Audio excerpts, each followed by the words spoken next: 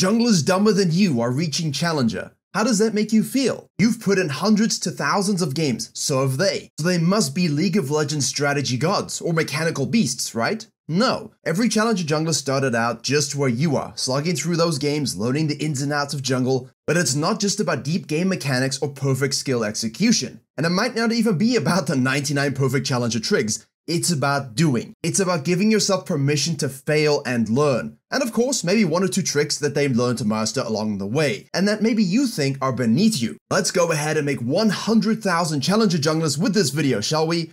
And so we begin. So if you pay attention to the channel as we go through these clears pretty quickly, you will note that the red side quadrant clear is kind of the meta in that it's mostly done by everybody. However, a lot of junglers, especially in anything below Master tier, still like to full clear blindly. So what you can do is position yourself in a way to counter them. I've covered that fully as well, but I'll leave a few highlights on your screen now. You can see the diversity of options we have with this clear, but the clear you're seeing the Kayn do now is the one that you don't see that often. I've done my Raptors, my Red, my Krugs. I've looked bottom lane, hey, it's not gankable. I know the enemy jungle starter topside is going down, but I can do nothing about that. Therefore, I'm going to go back to base very quickly, verse looping from Krugs to the Wolves, because I can get there really fast as Kayn, as whatever jungler I'm playing, Nunu as well, Hecarim, Shyvana, and so on. But the point more so is, hey, I've got a bit of an item advantage. I can keep my good sequencing for the respawn of the camps, right? The wolves into the Gromp, so that when they respawn again, when I eventually come back, they're nicely tied together, into my blue, into the scuttle. What does that mean that Zac has been doing this whole time? If he's show bottom lane at all, I'll know exactly where he is and what he's doing.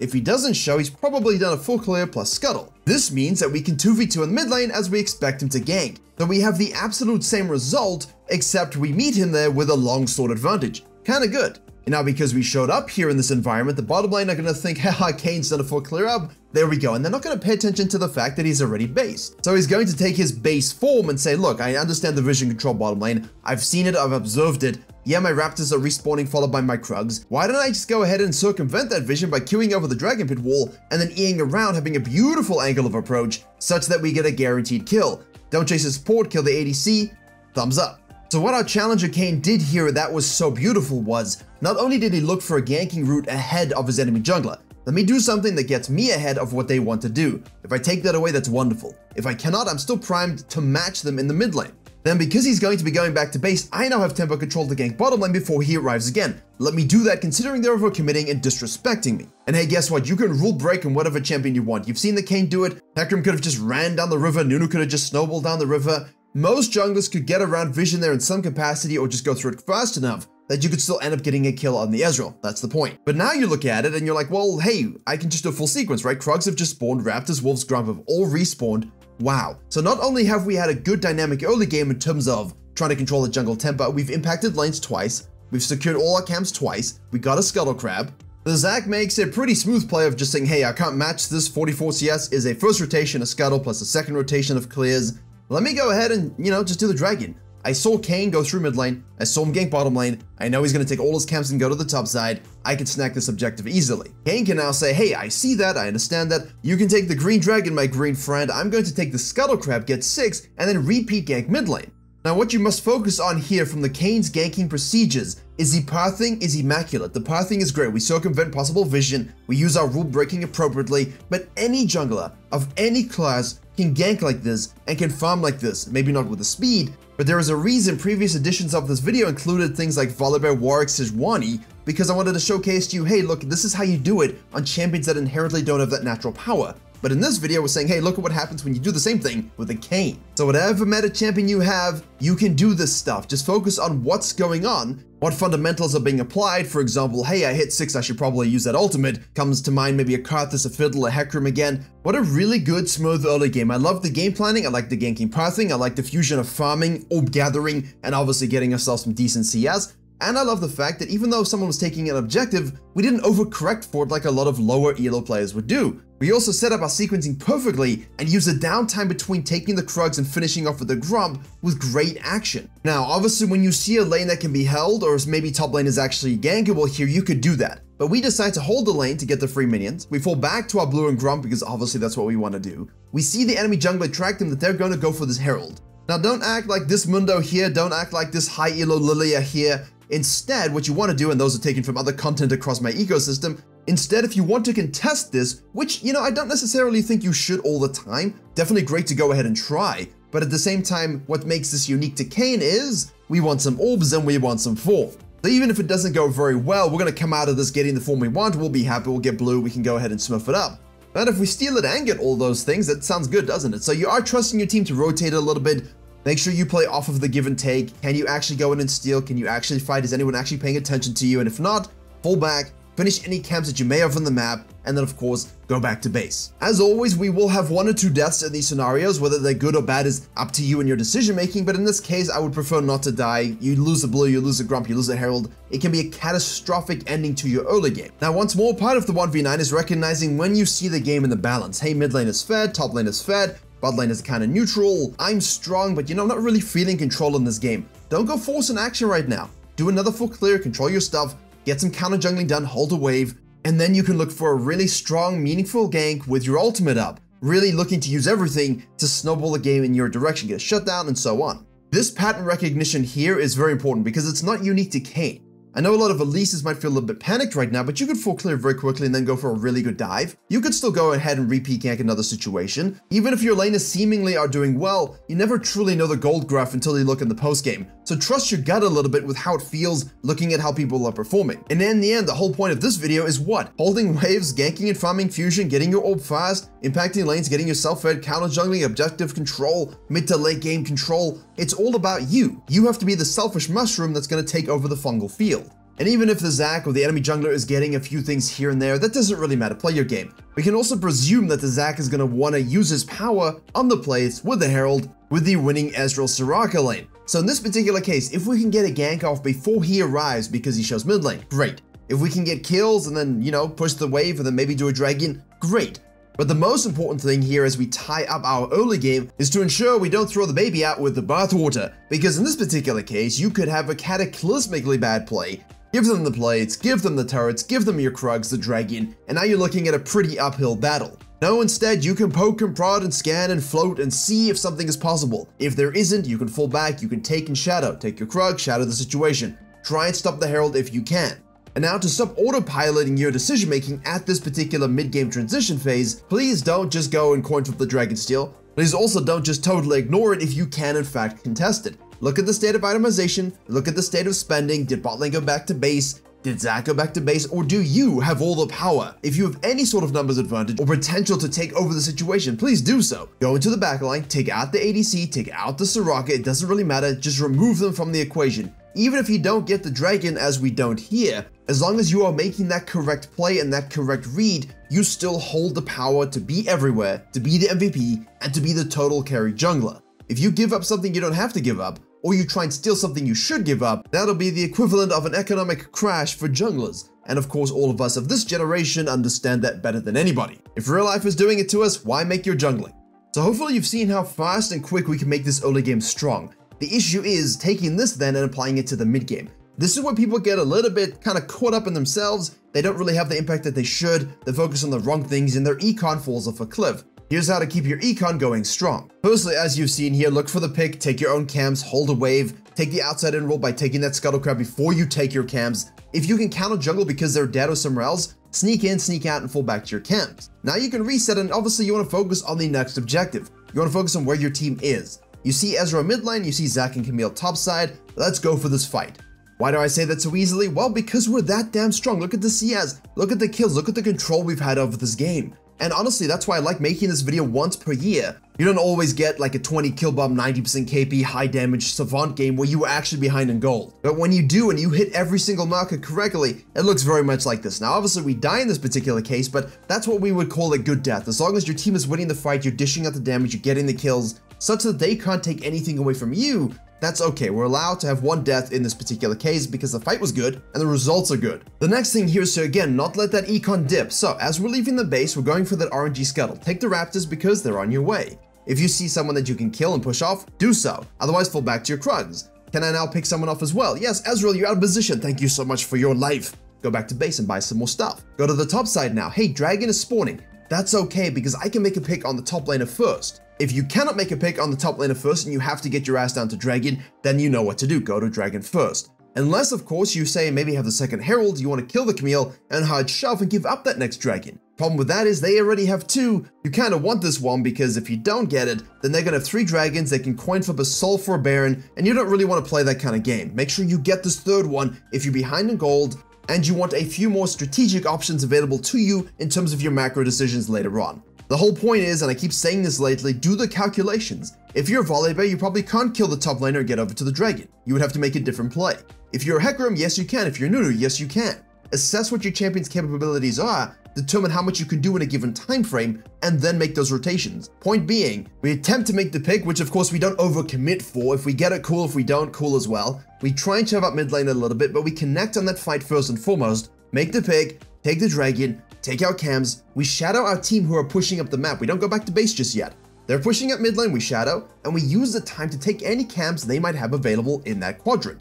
Now we can leave. The most important part about this next step for me is, do we actually have Baron control or is the Camille going to be an issue on the split push? No one's really going for Baron just yet. We need to rotate very quickly to try and push her away from that split pressure she has. Also, we are pathing towards where you want to be. You want to shadow your mid lane, obviously, because the Baron is the objective that's on the map, so you want to go Krugs Raptors towards mid lane, which means we can always have a look for Camille otherwise. If there is nothing happening on the mid lane, then we can go to the Wolves, grub, and look for a side lane pick, which you should be able to get because everyone in every elo will be over pushing past vision line. Most champions will 100% be able to do something about it. Now you might think this game looks a little bit over, but it really isn't because we still have two very important steps to discuss. First one is if you have that pressure now to do that Baron, go ahead and do it. But if you have any uncertainty about the outcome of that fight, if you have any uncertainty over the macro plays going on, do not coin flip it. Position yourself to turn, position yourself to make picks, because numbers advantage is king. If you have numbers advantage, you have the ability to match bad split push macro. You have the ability to win every team fight because you have more than they do. And obviously, you can keep taking all of their stuff. And the first is at this stage, remember what I just said, path towards where you want to be, but at the same time, we're gonna have to team fight. We're gonna have to make picks. You're the assassin, get into the jungle, look for the flanking angles. As soon as someone steps out, you make the pick, you make the play. You also have to show absolutely immense patience. You cannot afford to go in to aggressively die and throw a situation. Look at this cutaway quickly at a Platinum Emerald Kayn that I've coached for a while. He was having not such a good game. In fact, it was a terrible game, but he held his patience as we talked about the whole session for the end play. He just waited and waited and waited until they bunched up, all their cooldowns were down, waited for the Kayn combo, Everybody whistled away like they were dusted and they reverse pushed from their play and won. So if we go back to our main character's game here, it's the same thing. Look for those picks, be patient about it, win the fights. If there's barons that you can't take, contest and poke a little bit to stop it, try not to die yourself, will happen, that's okay. As long as you're not dying and then they get the Baron and every one of them is alive, yeah, then you just shouldn't have contested and maybe looked for a bit more split pressure and map pressure. Now this does happen a few times, and what happens is we just ensure that we're taking these fights over meaningful objects, like, you know, dragons, like the potential of a Baron. And at the same time, the most important thing we have here is eventually we do get the Baron. After a lot of song and dance and quick highlights, we get it. The K now has already 17 kills, he's trying to drag his team across the finish line. Camille's now split pressuring the map because she knows they can't win these team fights anymore. So what do we do? We don't overreact to her pushing bot lane. And this is the final thing, understand that pressure release when it comes to the late game. You push that top lane, let Camille push in a little bit.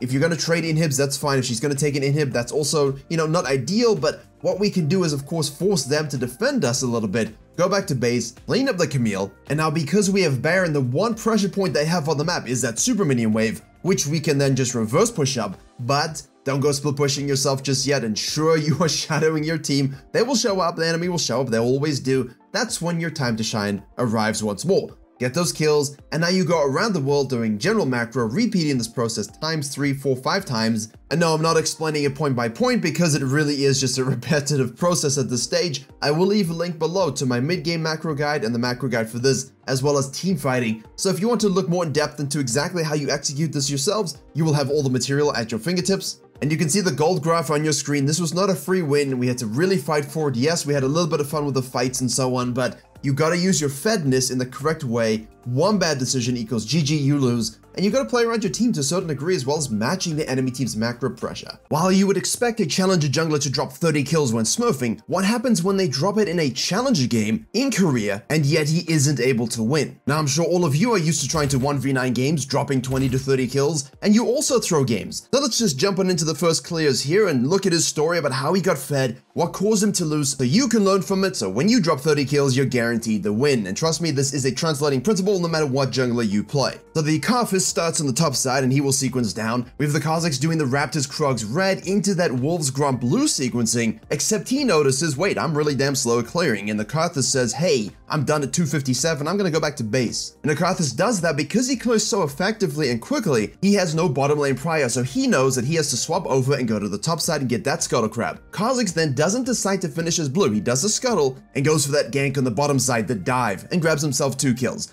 While you watch him do that, it's important to note that when you're doing a full clear and you're sequencing in a direction, if you see a gank you can react to and you know the enemy jungler isn't going to be around, don't worry about your clear. You can always come back to the buff, finish it off later, you can do the scuttle crab on your way down, don't finish your clear and lose a ganking opportunity when there's no jungle around, purely because you're worried about some sort of clearing tempo. Make that impact. When you play against things like this card, as you see, he does a top scuttle, he goes ahead and takes your second spawn raptors, he shows up in the mid lane there and then shadows to the top side. And when you see the Karthus there with that very heralded 32 CS, you know he did 28 CS full clear back scuttle crab and then took our Raptors for 32. And if you want to understand how to apply these champions and information to your own game, I have a free jungle improvement resource as well as a dedicated program where we have jungle video courses, jungle coaching, coaching VOD libraries that has weekly free video content seen nowhere else, as well as Q&As and patch note rundowns, as well as a private jungle Discord. And if there's one thing I'm good at, it's converting junglers to gold, to emerald, to diamond, to master plus. If you want to climb faster than anyone you know, jungle div every game you play, click the link below or head to virkayu.gg. While the Karthus could have maybe stolen our second spawn Krugs as well, the Kha'Zix is coming out with a huge base that's a of Dirk. He can take his blue, he can shadow down, he can gank mid lane, and then he can loop back into the bottom side jungle. Why? Because we know that the when he invaded and stole our Raptors show mid lane, will go back to his second spawn Gromp, second spawn Wolves, and come down to these Raptors and Krugs. Now it's all very well being the fast clearing jungler with map control who isn't gonna gank as much, but when Kha'Zix hits you with the Scryer's Bloom, you know he's in that area, you know he can kill you, don't path like the Karthus does here, Kha'Zix grabs another kill. Simply loop around the long way, avoid any sort of environment where you could be killed by the Kha'Zix, loop around the turret if you have to, and then take the Krugs by pulling them out. You waste the Kha'Zix's time, your bottom lane can rotate, and this way you don't feed him unnecessarily. But from the Kha'Zix's perspective, this was the best play. It was a great read. He understood what was happening. He knows he cannot farm him. And then he goes mid lane, does grab himself yet another kill, but does a little bit of dying. That's okay. Karthus will hold and shove the wave and try and kill the Vex. Kha'Zix will come out of base straight down the middle. And now again, you might think, all right, all right, all right, we're gonna go and do the Krugs, we'll do our Raptors, we'll sequence down again. Maybe we can do the Gromp on the Wolves and go up into the Herald. No, my untamed jungle gorillas, look at the bottom wave. You see the dives, you see what's going on, you see the center overcommitting. The Karthus is moving on down for the Scuttle to shadow it. Kha'Zix doesn't waste a second. To get 30 kills a game, you will often notice that you get around 14 to 15 in your regular game time, and then you just start to snowball many kills later on. But also, you have these games where there's a lot of activity and you have to react to it and capitalize. Whether you're farming and ganking, it doesn't really matter. If you end up with 20 to 30 kills, this is the process of that. Now, this is a fast moving game. This is what happens sometimes. You want to technically go and do your wolves. You want to try get that level 6 at first evolve as fast as possible. But then you see the Singed moving from the top lane. You see the Karthus trying to steal your top side. You see a collapsible situation. So you go again. And here's where Karthus gives up a little bit of control. He shadows to the top side and then comes back down. The Karthus saw the Kha'Zix going down, yes? Which means we think, okay, the Kha'Zix is most likely going to invade our red side. If you're the Karthus, you say, cool, thanks, because now I get the Herald, I get your red side maybe, I at least get my blue side, there's a lot of stuff I can do here getting huge CS leads. And as with all games where you are truly 1v9ing, not only is it you being fueled up with the best nitrous oxide, it's the enemy jungler really running on vegetable oil making mistakes. When both of those are true, you get games like this. And as I always tell you, the best tracking, invades, and counter jungling lead you to the best ganks. You've taken the red, you evolve your Q, you steal his raptor, you force him to the top side. Hey, bottom laner trading without paying attention, as always, snag yourself yet another kill. Okay, so now you're thinking, alright, Kha'Zix is really, really fed, the Karthus is gonna get that Herald cool, I should go bottom side and get the Dragon. This is the thing, many snowballing, scaling, assassin types, even Graves players, you get these leads and then you just take your foot off the pedal enough that the enemy jungler gets to breathe, start to be where you are not, starts to get better econ, maybe impacts another lane, and that's when you kind of lose control. So if you want to win these kinds of games, keep the control. That means yes, you take your buffs when necessary, you go to the camps that are available, you look to shadow mid lane when there's activity. If you see your top laner deep warding deep inside the enemy jungle and you can get there and get a kill, you do that as well. What good is having this itemization advantage if you're never gonna use it? The most important thing is you would have noticed a lot of kills here. We're down 30 odd CS, we need to convert these kills into objectives, yes? So we go ahead and take the dragon, we know we got the herald, that's fine. Now when you decide to engage in someone who's in the wrong area while you finish that, you can't really expect the Gwen to teleport and kill you, but unleash teleport 10 minutes, you know it's a possibility, just try keep your eyes open to it.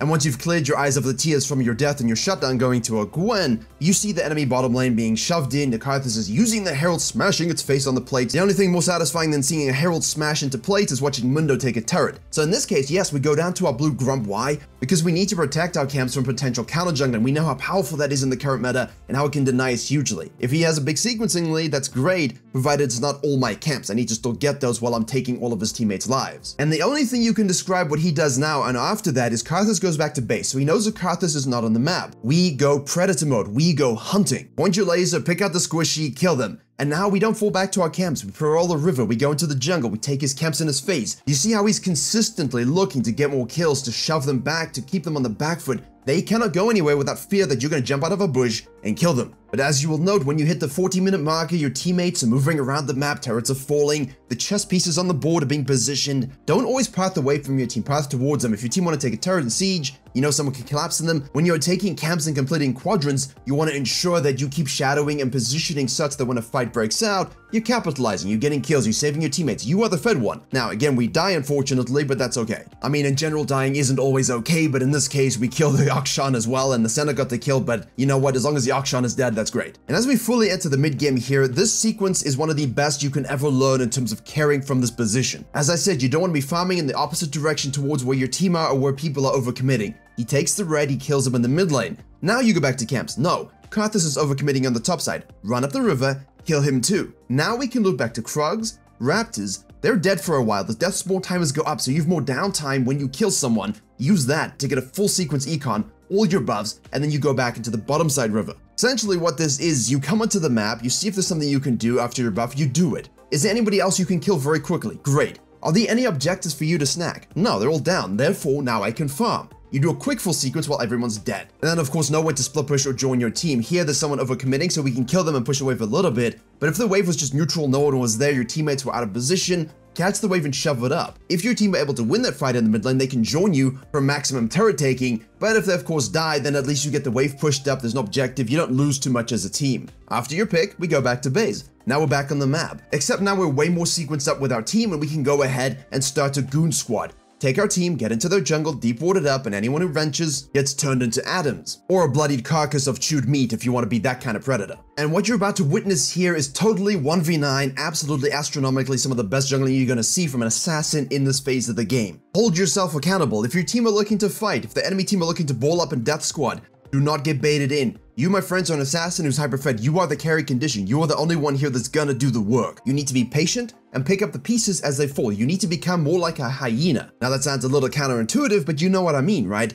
All the teams brawl, they lose HP, they lose spells, they're out of position, they're scattering, and then you can just pick them off one by one. So while it can pay to be the predator, it can also pay to be a bit of a hyena in order to pick up the pieces from a good brawl. But not only does he do this mercifully, he also then positions himself to counter jungle their camps, leverages the respawn of his team because nobody else is on the map to quickly snag a Baron. And then now they've all respawned with gold reset, he has no gold reset, so you might be inclined to go back to base and spend, except stay on the map, because you know your job as the assassin, as the 1v9 here is to ensure that they never have 5 set up to actually win the fight. What you do is you then pick people off when they're out of position, you watch your team, you watch the map, you see, can I stay out of clean kills up here? Don't overcommit when you clearly don't have resources, but if you do have the resource, you do have the spells, you do have the flanking angle, utilize it. You would have seen the bullet points there for what to look for in this mid game phase, but this is where most games are won. 40 minute early game Savant lead into a mid game domination phase, 22 minutes you have a huge lead and you can never throw. Or if they have wave clear, it takes you another 20 minutes to close, but you never feel out of control. Now for the next few minutes until the next Baron, nothing happens. The blue side team plays it extraordinarily well. They give up all their jungle, they ward, no one gets picked. The Kha'Zix get zero kills, no assists. This is exactly how you should play it if you're the Karthus team when you're scaling and you know you can still be fed and win. For you, the jungler looking to 1v9 and win, This is where you lose and throw because you get impatient. They know they can do this. You start worrying about closing, losing your lead, and so you overcommit on something. Not this Kha'Zix though, he holds true to patience. And yes, while the blue team are able to sneak away this Baron with good positioning, Kha'Zix ensures that one loses the Baron. He ensures his team gets the Dragon. He guarantees as the carry on the team here that when someone's out of position, they die and they lose the Baron slowly. And as he keeps picking off one by one, they lose the Baron, they're able to shove into the base and get an inhib. Well, not quite the inhib actually, you don't want to free feed the enemy, so that's a good decision to only take the turret. Remember, if you're playing any champion, you can do this. Obviously, the Rengars, the Kha'Zixes, the Kayns, the Karthuses can all do these kinds of things, but so can the Lee Sin, the Jarvan, the Hecarim. Any jungler you're playing is able to do this, unless of course you're more like the Ivern supportive style junglers, you got your Morganas and your Maokais and you know, more supportive CC based kits, mobile, then obviously you need to play a little bit differently than these other champions. Your positioning has to be more intelligent, but the goal is still the same. Hey, look, they took a Baron, I'm gonna clean someone up and do their dragon. You can be anybody for that. Hey, look, now we've taken one off of them, there's two in the top side, I can kill them. You can do that as well. Now remember, we're hunting 30 kills here and a win, so your deaths are important. You cannot afford one more death at this particular stage, maybe one, but you have to play it super, super well. So you're doing the same thing, you're pushing sideways, you're in the jungle, you're waiting to make sure that you can get that inhib and maybe the bottom lane inhib, and what he does, and I don't see a lot of junglers do this enough, you watch the fight, you're looking for that hyena moment or the predator moment, and it never arrives. Your team starts to lose tempo there, and there's nothing really you can do. Slide on out and quickly take that inhibitor. Same thing in the early game. Oh no, this is a doom scenario. I'm gonna slide on out and take his Krugs quickly as I leave. I'll slide on out and quickly take that Scuttle Crab. When you can sneak something away in a lost moment, it just gives you a small win when maybe you need one, and that small win could always be useful. Sometimes it's just about stacking enough pennies to make a dollar, and that's all you're trying to do when you win a game of League sometimes. Now, we give up the dragon, okay, that's fine, no stress. We'll go ahead and take the Baron, that's cool, nice trade, because we obviously don't want an Elder situation necessarily. So yeah, the use of the GA to take the inhib was great, and now they're sieging on the top lane. Here's where he makes an absolutely, almost game-losing mistake. Not quite game-losing, but it can feel that way. His team cut in front of the enemy's base. They're crossing over to the mid lane here instead of fully on sieging the top lane turret. Gwen now goes aggressively on him, he's forced to reposition burning as more. He had to sell his GA because he doesn't have that active anymore and he'll buy it again later on. And he gets kill hungry. He sees a low Gwen, he sees a low Karthus, and he goes ahead and jumps right on in. But the problem with that is, he had to wait for his W. He could not jump into them because of Karthus' death spawn, Akshan over the wall, Senna spacing to the left. He jumped into the middle of four people, died for it. If the whole enemy team is shoved up and you've got supers running down mid lane with a Baron, you can push those towards the Nexus turrets, and now you can decide, look, do I need to go hit those and end the game, or can I float back in with my W of cooldown and use that to kill the Karthus? The kill hunger cost him his life and a lot of tempo. But again, not the reason that he's going to lose this game. It happens right here. He respawns, he has GA again, and now he is a little bit tilted. The game has gone on a long time. They still have total control. They can still win it very easily. The inhibitors respawn though. Their sidewave and midwave control is not great. His Rell is coming out of base. The Kalista's in the mid lane. Singed is on the bottom side and he's going with Vex to go and try and kill a Gwen. It takes everything. They do it. Karthus is R though, and Akshan will chase him down and finish him off. And that, my friends, is sometimes all that happens that can cost you a game. He went way too far, way too deep without paying attention to the map the first time. Most of you do this, and you do this in all your games when you have 10 kills, 8 kills, 5 kills, you think, hey look, someone's splitting, I can go kill them. You don't look at your waves, you don't look at the state of the game, and it costs you. Lazy base as well. Now the enemy team gets to take another dragon, shove down an inhib, and even though he tried his best to win the next fight with his lead and slipperiness, he just couldn't do it. I cannot tell you how many times I see junglers get these leads and not do these steps properly. If you copy this guy in the early game and the mid game, you most likely will win at least 80% of those games provided you understand what went wrong here in the late game. Yes, it was drawn out. Yes, it was about team fighting mechanics and understanding when to push and pull with macro. But at the end of the day, as a jungler, it's about executing early and mid, controlling your leads, denying the enemy jungler, and then playing towards whatever win condition you have. And if you don't want to be a high-level jungler getting 30 kills and losing in Challenger, maybe pick an easier jungle to help you execute your vision. So let's start off with our main gameplay example. We will also have a secondary gameplay example where I will show you how I use this tip, as well as one where I coached it to someone else in Platinum and Gold, and he smurfed all over someone's ass. So we watch a Briar do the Raptors Red Krug standard stuff. If there's nothing on the bottom side, you can go back to base by Doran's Blade. You can also just stay out and carry on your sequencing. And I'm simply going to describe the events of this game, analyze what's going on, but when the moment comes where the Graves does not do what he should do, that's when he loses the game. No matter what game state you're in, if you recognize it, it can swing you wins no matter what. So we have the Briar going to the top side trying to kill of course the enemy Darius who's already shoving. The Graves decides to react and go for some sort of cheese invade off the blue side. Briar has to respect this a little bit. Graves decides to cross mid lane, snag himself up some experience from there and head to the bottom side scuttle. Even Briar isn't necessarily going to be one of these AFK farming champions and she likes fisting, ganking, fighting, skirmishing, invading, she decides to cross over the mid lane and protect her bottom side from the Graves' pressure because we know he's on that side. He started with Red Krugs Raptors, he shows up on the top side, he floats down to the bottom side. We know that he has Wolves available much like we have Gromp available because we skipped it. And the first big sin of this patch of the new meta of jungle since the changes is staying out way too long and the Graves does it right here. He sequences all the way back up to the top side again, tries to get a gank off on the top laner, but the enemy mid laner, the Neeko, she is 6, the Briar has gone back to base and now has a serrated Dirk and she shows up on the top wave as well. This is why you don't stay out longer than you need to because the camps that are going to respawn at level 5,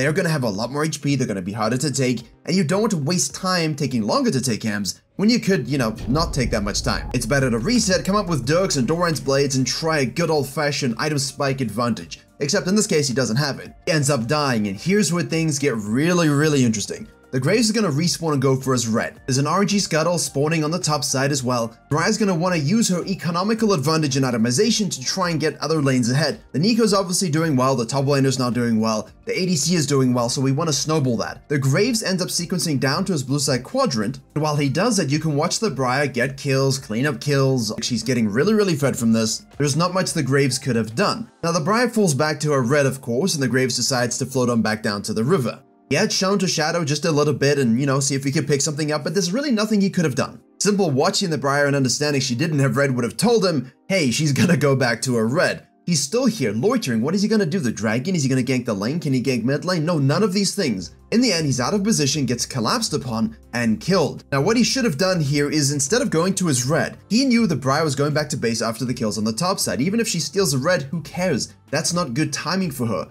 He should go down to his Gromp. His wolves are gonna be respawning. His bottom lane's already losing. He knows he cannot fight the Briar, the Briar's gonna most likely go to the bottom side here for her red spawn. Let me take my Gromp, take my Wolves, go for my red, and if I see the Briar bottom lane here, I can cut at any point to take that Scuttle Crab, and I can counter jungle her whole blue side, and then fall back to the Herald. Your blue camps are defended from potential counter jungling, you get an objective, you counter jungle her twice, you get your red, and you have free real estate to impact top lane or mid lane as necessary, as the map dictates. That, my friends, is exactly how you wrestle control in negative game states and weird game states where you cannot match the enemy jungler's fisting, fighting, and gold lead. You will get it back through counter jungling, and remember because the camps have more HP now when they respawn at higher levels because you took them, a jungler who's behind on gold or equal and behind on experience will take a lot longer to clear them. This gives you a tempo advantage in whatever the hell you want to do, whether it's more counter jungling on the other side, objectives, or ganking lanes. This complete oversight from the Graves will cost him this entire game.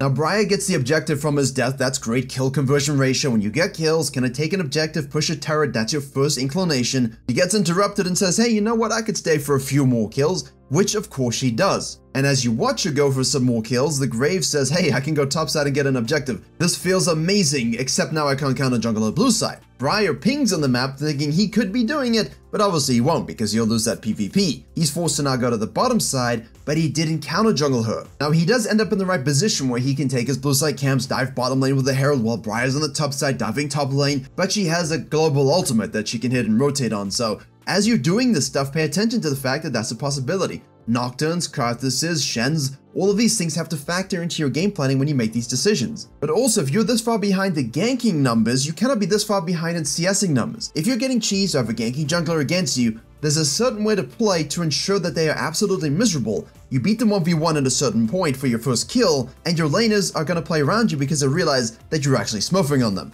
Now you understand a little bit about how counter jungling can be used in weird games and games where you're just behind, but you didn't quite see the raw power that it has. So let me show you. Cue the second game. Zyra starts on her red buff, knows that it was warded on her blue buff, which she also warded. We also know that the Lee Sin is gonna think about invading. Any jungler that might think about invading, it's always good to reverse clear a little bit. So, you go to your blue, you start it up, you pull it out into the bush, Lee Sin shows up, you outsmite him, you're level 2, he's level 2, you go at it. You know now that he feels like he's screwed, so he's gonna go to the Gromp, so you use the plant to bait him around the wall.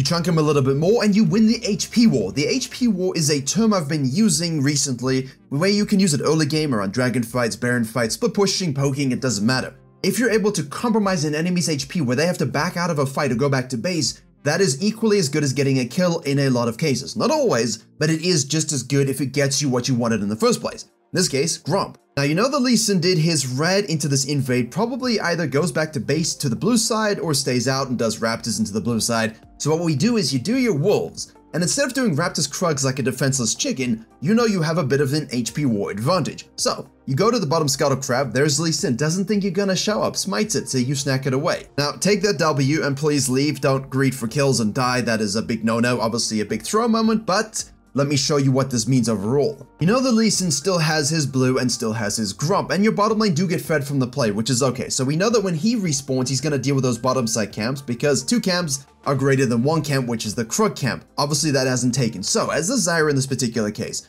ignore your tier 1 Raptors and Krugs. He will assume you're going to do the same thing, right? Two camps better than zero. Except you understand that counter jungling is the way to play the game right now to get huge, huge leads. Now the tier 1 Krugs drop, so you go ahead and take this. Nidalees, Greys, Rengars, Kindreds, doesn't matter who you are, you can do this. And because you kind of have a loose idea of when those Raptors are going to respawn, given when he invaded and when you saw him next, he had 12 CS. He also didn't have his blue buff, so you knew he did red, Raptors, Wolves, and therefore you can kinda guess a time.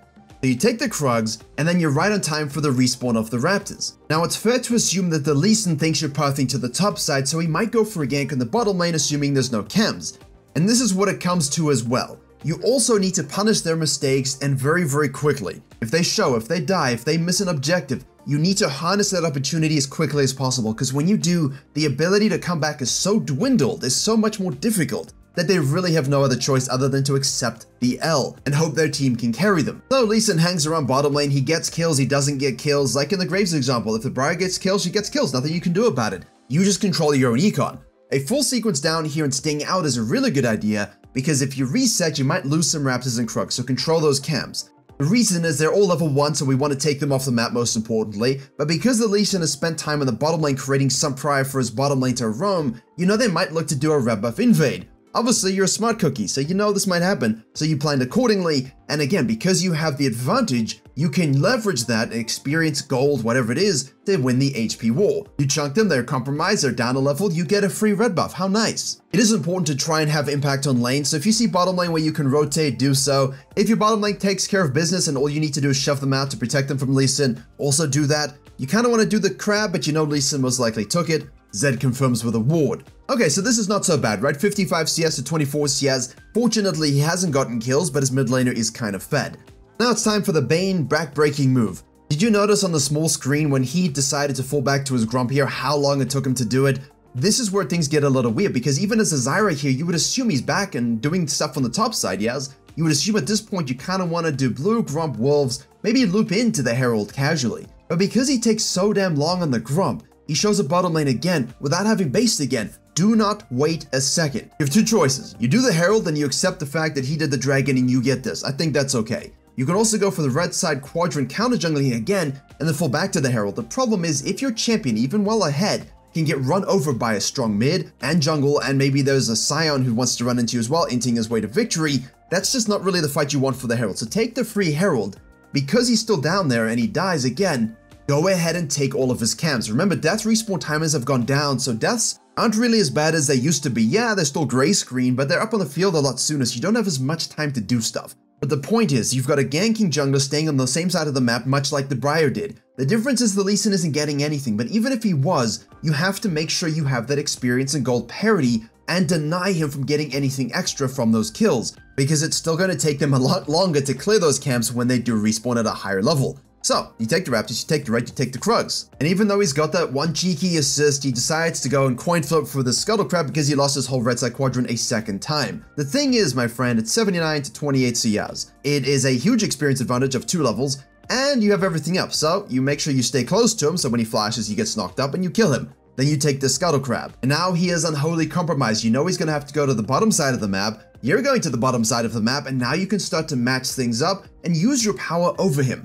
And when it's something like a 91 CS to 32 CS lead, what exactly are they gonna do to you at all? And yes, that means, hey, he's gonna take the second dragon, but you got some cleanup kills, you control your quadrants, you're protecting your camps. You should never be giving up this control. You should always be able to rotate and use the gold advantage and experience advantage and your build advantage to kill him if he tries to do something, to kill laners if they try to do something, and the game should be won pretty easily through standard jungle macro play. That is linked below if you want a bit more information about that, but this just showcases two examples. When you don't counter jungle, what it means for a ganking jungler who has success, when you do counter jungle, what it doesn't mean for them because you still have the lead, and now, what if you have an early invade, you're in a platinum MMR game so this applies to everyone in mid and low elos, and you invade and kill a puppy. Now you fall back to the scuttle crab, you take it. Cool, right? But where's the puppy going? Think, most likely she's going to the bottom side, but no camps will have respawned. She'll take the Scuttle Crab. Ah, but she knows that your Krugs will respawn, so she's gonna go ahead and take them. And if you have a problem, you've now been counter jungled. And I think what we've seen this video is if someone makes a mistake, they spam gank, they die. If you counter jungle them and take objectives, you are absolutely screwing them for the game. It is hilarious how long it takes them to do camps. They can never catch up, and it's all on you to apply that pressure continuously. So,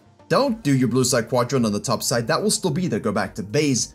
Prevent them from taking your Krugs, take your Raptors, you know they're now going to sequence to the top side again, and you kind of want to go and get in their face and take their Raptors and Krugs, right? But they're there, and they have mid lane prio. So let them have the Raptors, but take the Krugs. This was a platinum level pathing from someone I've long-term coached using the courses and so on, and you can see how their pathing has evolved into very quick decision making. It's allowed them to climb, I've made a video on them, but I'm just showcasing to you in this particular meta, when you counter jungle and punish mistakes, you understand quick thinking, and you know when to give up a quadrant to defend your other quadrants that might be counter jungled, those level 1 camps will be quickly taken, and now no one can do anything to you.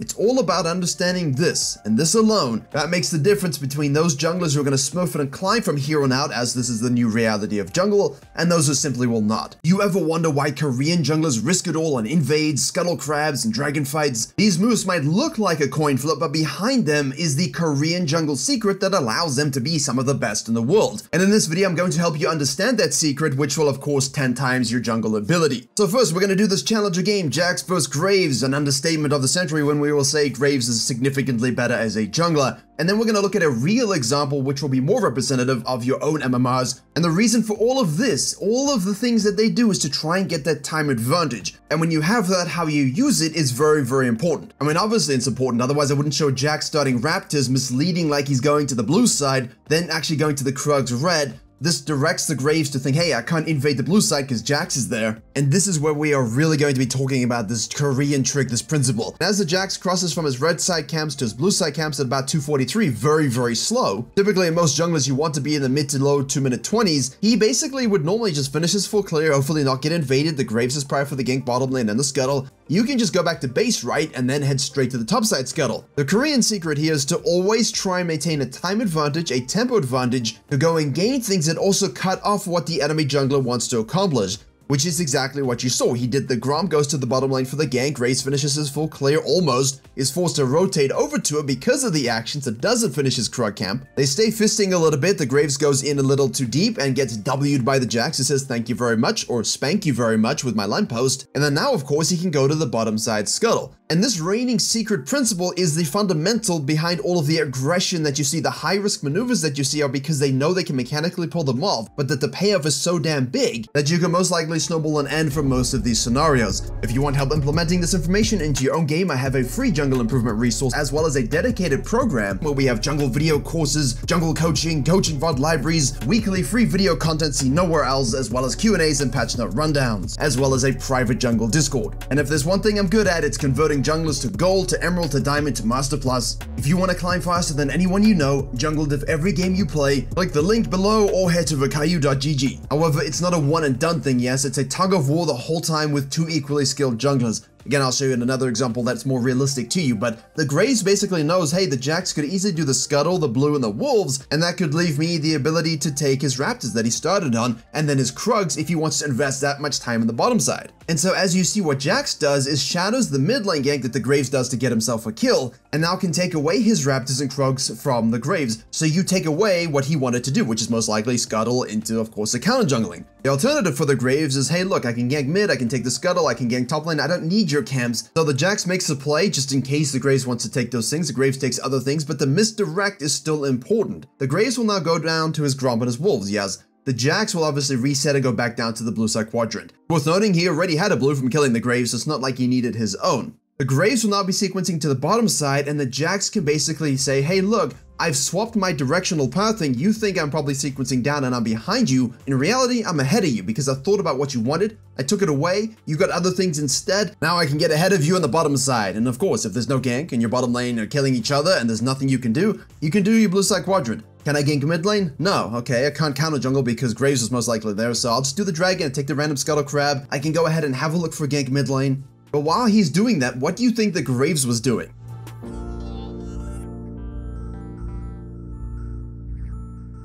That's right, the Graves sequences down, sees the same things that Jax does, sees he doesn't have prior to go for the crab or the dragon, and says, look, if you've just now taken the dragon, then I know your topside camp should be available, so while you kind of do that reset path up to the top side, I'm gonna go ahead and take your third respawn Raptors, your third respawn Krugs away from you, thereby creating a time gap between him and Jax. He's on the Raptors while Jax is somewhere else, and the Jax is now trailing him while the Graves takes away his camps, and now the Jax has lost things, and the Graves has cut in front of the Jax and prevented what he wanted to do next. So when you're tracking and playing in the game and you're always trying to understand exactly what you should be doing, think about the enemy jungler. What are they going to want to do next? Could I maybe counter jungle the camps or should I go somewhere else to prevent them doing what they want to do? You always have to decide from your PvP nature, what the map looks like, which is the best decision. In this case, the Graves said, look, no lane prio, I don't want to go fight 3v1, I'll just take away the camps from somewhere else. The Jax is going to arrive and be like, oh shit, he took my stuff. That's because the Graves knew once he's done with the dragon and everything, he's gonna want to reset or do something about the topside camp, so I'll just take those away from you because I knew you wanted to do them, so I said no. And sometimes this leads to Viegos and Taliyahs fisting it out on a Raptor camp for the same reason, because sometimes junglers do different things than you expect,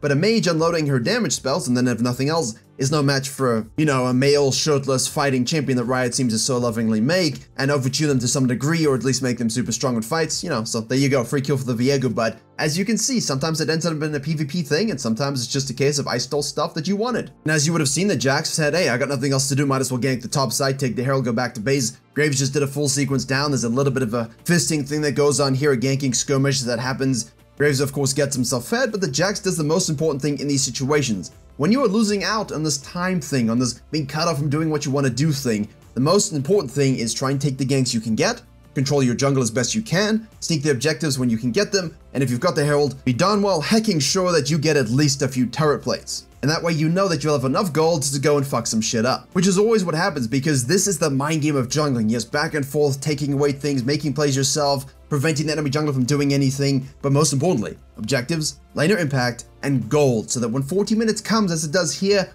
you're at least decently fed, you've got objective control, and you can kind of snowball into that mid-game. And of course, the denial thing doesn't stop, right? You know, it's about pushing waves and invading and goon squatting and preventing buffs to be stolen, but it's also you can get to that big old-fashioned fight where you just ruffle stomp them with your champion. Hopefully you have the mechanics to do so. But how does this work in a slightly separate scenario where maybe you can farm first, unlike the Jax, and you're against something that can farm even faster than you, rotate to everything like a Hecarim. So we've obviously seen in pro play and obviously in high elo, people like to start an enemy's buffs. But what they don't do properly is actually understand this time advantage. So I'm going to show you what that means here. The Zyra does a late invade with her team. Nothing's afoot. And of course, the guy with feet is on the bottom side, not protecting his entrances. Again, this does happen in high elo. Happens in all your elos, obviously. Why would you not maybe do the Red Raptors Krugs here? Because what happens if you do Red Raptors Krugs as a jungler and the enemy jungler beats you 1v1 and is a faster clearer? That's right, you lose the time advantage because by the time you've done all of that, he's in the same vicinity as you, and now you can gank the side lane, sure, but he'll rotate and kill you. And if you gank the side lane and go to your blue buff, he will rotate and kill you, maybe, you know, take your camps as well. So that's not very good. The invade here wouldn't suit us. So we go red, Krugs goes straight to the blue grub. The ward shows the Hecarim showing up to do Raptors, so you give him the Raptors as a trade. You say, look sir, here is your Scampi, your starter, all the while you've stolen the main cores. When he gets to the red, he's gonna think, ah, my red is stolen, that's weird, my Krugs are surely, wait a second. But by the time that happens, you're on your wolves, already pathing to the bottom side quadrant. Now, if you're the Zyra, think about what the Hecarim's gonna do here. Most likely try and gank top lane. If that's not gankable, he's gonna maybe investigate your jungle, or he's gonna go straight to the mid lane for a gank. If he thinks you started on the top side, you should be on your red side right now. So of course he's gonna try and invade your raptors, maybe invade your red and steal it away from you. And again, try and kill you. So the importance here is creating that gap, the time advantage that I've been talking about, the Korean secret. If you've got 30 seconds over them, you can be 30 seconds ahead in all pathing games. You finish the Raptors, he sees them, and now he's thinking, wait, did she go my red Raptors into her red Krugs Raptors, or what's going on here? He doesn't exactly know where you are at all. But if you're in control, because you have, again, the time advantage, what can Hecarim do next if the second spawn of his Gromp is going to be at like 4 minutes 20, and it's 3 minutes 30. Well, you can go ahead and do your red. You know he's most likely going to do the Scuttle Crab, and then afterwards probably look to gank bottom lane. Maybe he thinks your Krugs are available because how could you invade and take everything, right? That makes no sense. And so what you can do is take your Krugs and set up a beautiful gank when he decides to go here because he has nothing else to do, right? He cleared his camps, he lost two, you oh, had a 30 second advantage because you skipped the Raptors and baited him with them, that time waste, and of course now he dies. Now if you happen to be watching this video and then you go have a game like this and you're the Hecarim and this happens to you, think about what we're talking about here, time advantage, right? Tempo control, time advantage, denying what the enemy jungler wants to do. So you know when you respawn, because you respawn ahead of when the Zyra bases, you could have very easily gone to the top side and taken that Scuttle Crab. Could have very easily maybe looked for a top lane or mid lane gank, but ideally top lane, so you could then go to your Krugs, because at this point, you know your Krugs have respawned. And at this point, you know exactly when your Raptors are going to respawn, which is of course going to be that 5 minute-ish marker. If you know the Zyra is going to want to go to the top side and take that Scuttle, maybe repeat take those Krugs or gank top lane or whatever, then if we take the top side Scuttle, gank top lane, take Krugs, the only thing that's going to be available is of course going to be the Raptors, for which you have Prio and the ability to just kill a simple mage running around in your jungle for no reason. So the Zyra or whatever farming immobile jungler you play, whether it's a Fiddle, Karthus, Brand, this is all exactly the same principle by the way.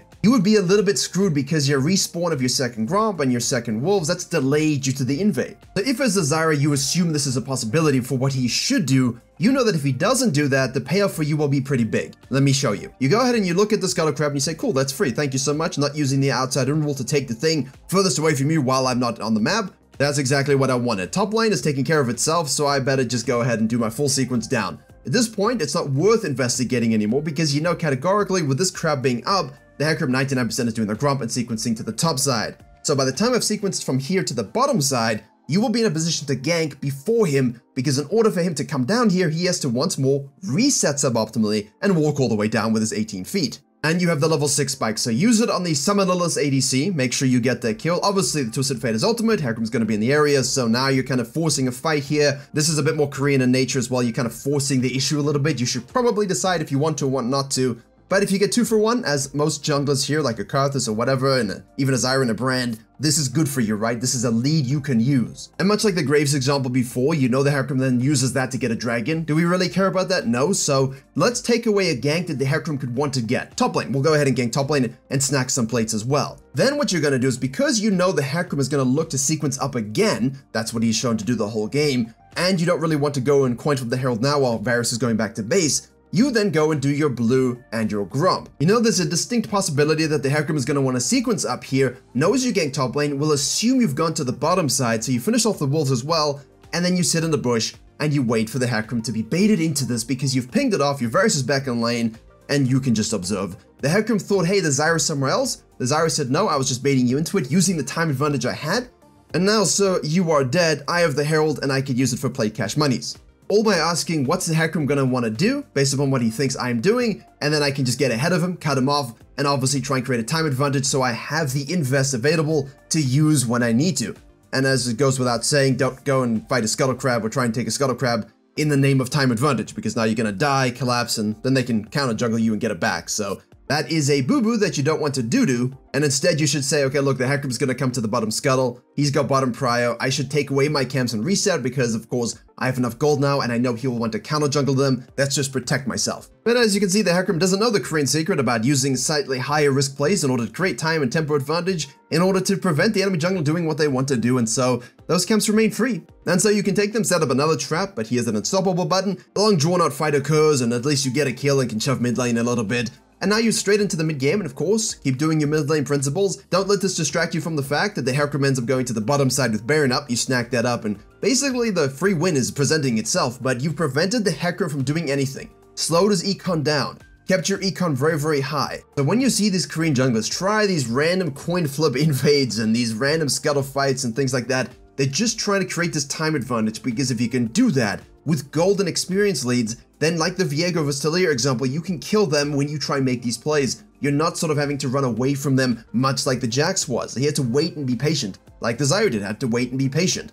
But in the Graves case, he knew exactly how to counter that and get himself fed. Sure, they lost the game, but he did his job early, whereas the Hecarim did not do that whatsoever, and then so got severely punished. Always ask yourself what the enemy jungler wants to do, decide whether you want a handshake trade or if you just want to prevent them from doing it. This is a strong-willed principle that will lead to PvP moments. You have to be mechanically good enough. You have to understand golden item spikes and tempo as well. You're always trying to create that lead, and I think the Zyra example showed that, giving the Raptors to create a buffer so that he could get nothing else, and then setting up the counter gank, and this works for lane ganks and so on as well. You've all had games where your bottom lane gets dove over and over again and feeds. You think you can counter jungle, but the enemy support shows up to cut you off. You lose your bottom side camps, you lose dragons. So how can you still 1v9 these kinds of games, keep yourself equal to the enemy jungler, and use every trick you know in order to be the superior jungle difference to climb your way to your chosen peak? And as I'm sure you're aware, and this happens in your games too, your ADC and bottom lane get caught out from a level 1, Nidalee gets first blood, your bottom lane's behind, and now you're thinking, great, I'm gonna lose my bottom side quadrant as well. The thing is, 1v9 isn't always an easy job, and a lot of the time it takes a bit of patience. You need to see a few moves ahead. So we start our blue, do our gromp, do our wolves. We're not entirely sure exactly what the Nidalee is doing, but you know their bottom lane was late to show, so probably she got leashed on the blue buff, and at least we have a ward on our raptors to see that. The Yone will obviously try and abuse some prio and get a ward down by our raptors too. Nidalee pops right up, and now you know your decision is set in stone. Because the Orianna's ward shows her raptors are still available, you know Nidalee's gonna go ahead and do your red side. She shows on that ward with 12 CS and a blue buff. Basically what we're doing here is we're totally gonna give up half of the pizza. I know you want to eat the whole pizza, I want to eat the whole pizza, but the problem is enemy jungler is taking your half. So what we're gonna do is eat all of their dessert. Or you could just make a new pizza, depends if you like dessert or pizza more. I don't know, I kinda go for both. But the one thing we damn well know is Nidalee is gonna try and dive the bottom lane or gank mid lane, she will have impact in those lanes. So we do our raptors into the red. This is where things need to be very important and drilled into your mind. If you know straight away that, hey look, I'm gonna do the Krugs here, but I need a gank because Nidalee's getting fed in gold, experience, my laners are dying, I have to offset this somehow. Keep your eyes on top lane, rotate when top lane needs you, and get the kill when top lane needs you to get the kill. Don't do Krugs, watch them die and go, guys, you couldn't wait for me? Leave your camps, rotate, get the kill. This has been a biggest thing that I wrote about in the weekly email the other day. It's also the biggest thing that's helped my own game in the last 2-3 weeks is sometimes even I get stuck full clearing, farming, quadrant clearing, and it's very easy to develop a bad habit of not rotating to things where you can guaranteed get kills. So you killed the Gwen, you became the Gwen, you took the Krugs, you take the top scuttle, you know Nidalee's gonna go back down and finish off your Raptor camp and then do the bottom side scuttle. If you can gank mid lane after the crab and get a kill here like we do, perfect. Excellent, you know that Orianna can use that lead herself, you know that the Nidalee just killed her so it offsets that to a degree.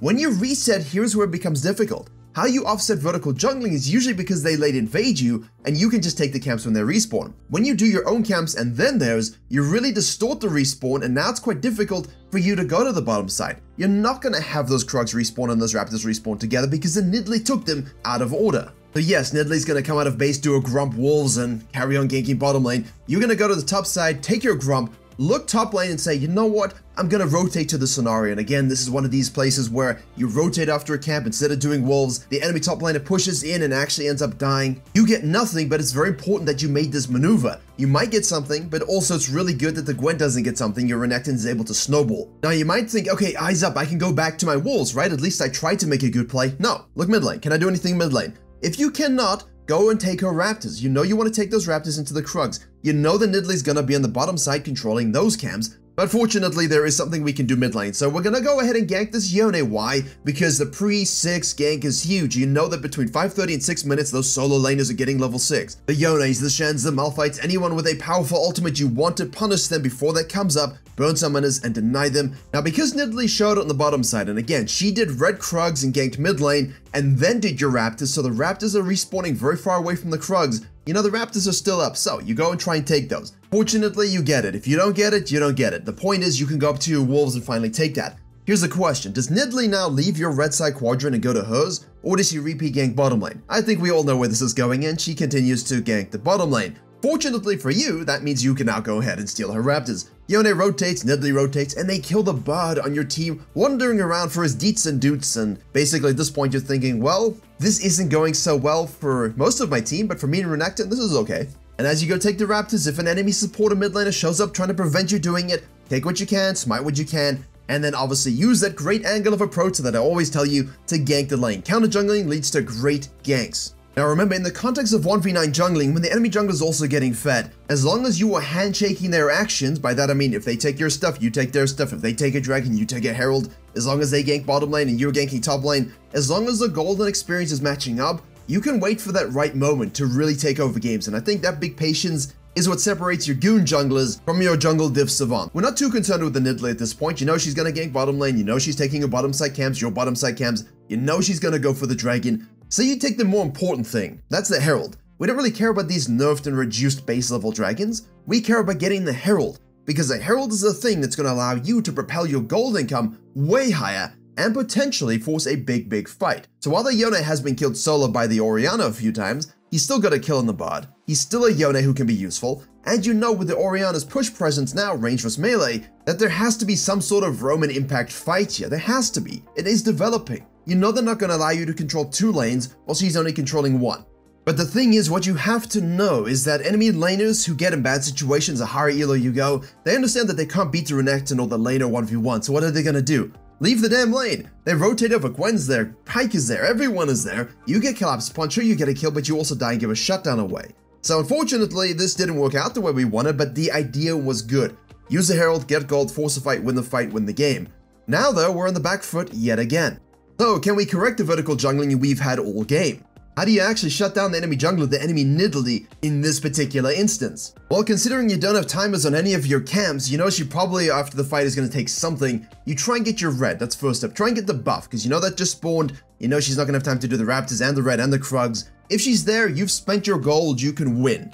You arrive, you recognize, cool, red buff, yay, bot dice to Nidalee, so you go, oh no, and your raptors are gone. So what do we do? We shadow mid lane, we take the top Scuttle Crab, and we take her top side yet again. As I said, this game was one where we couldn't correct the vertical jungling. Ideally, we never want this, but that's why I like this video, because sometimes when you have to 1v9, you're gonna face these weird situations, yes? Enemy junglers getting fed from dumb things, losing your camps. You know when to back away when you run into a Pyke. You know, just to give up some of the camps when the enemy support roams in your face. Just kill the Gwen again, that's the free food, that's a winning lane, you're getting fed as well. Now here's the thing, this might happen again. You might get another kill on the Gwen, the Nidalee gets another kill on the bottom side, you're still taking each other's camps, but because you're taking each other's camps so damn quickly now, the downtime between those camps all respawning is a lot greater. This leads to greater dead time, this leads to the ability to actually move around the map without worrying about farm. All camps are off the map, Renekton's taking the top turret, now you know with this dragon coming up at around 13 to 40 minutes as the early game is about to end, you know you've got to use the gold you have.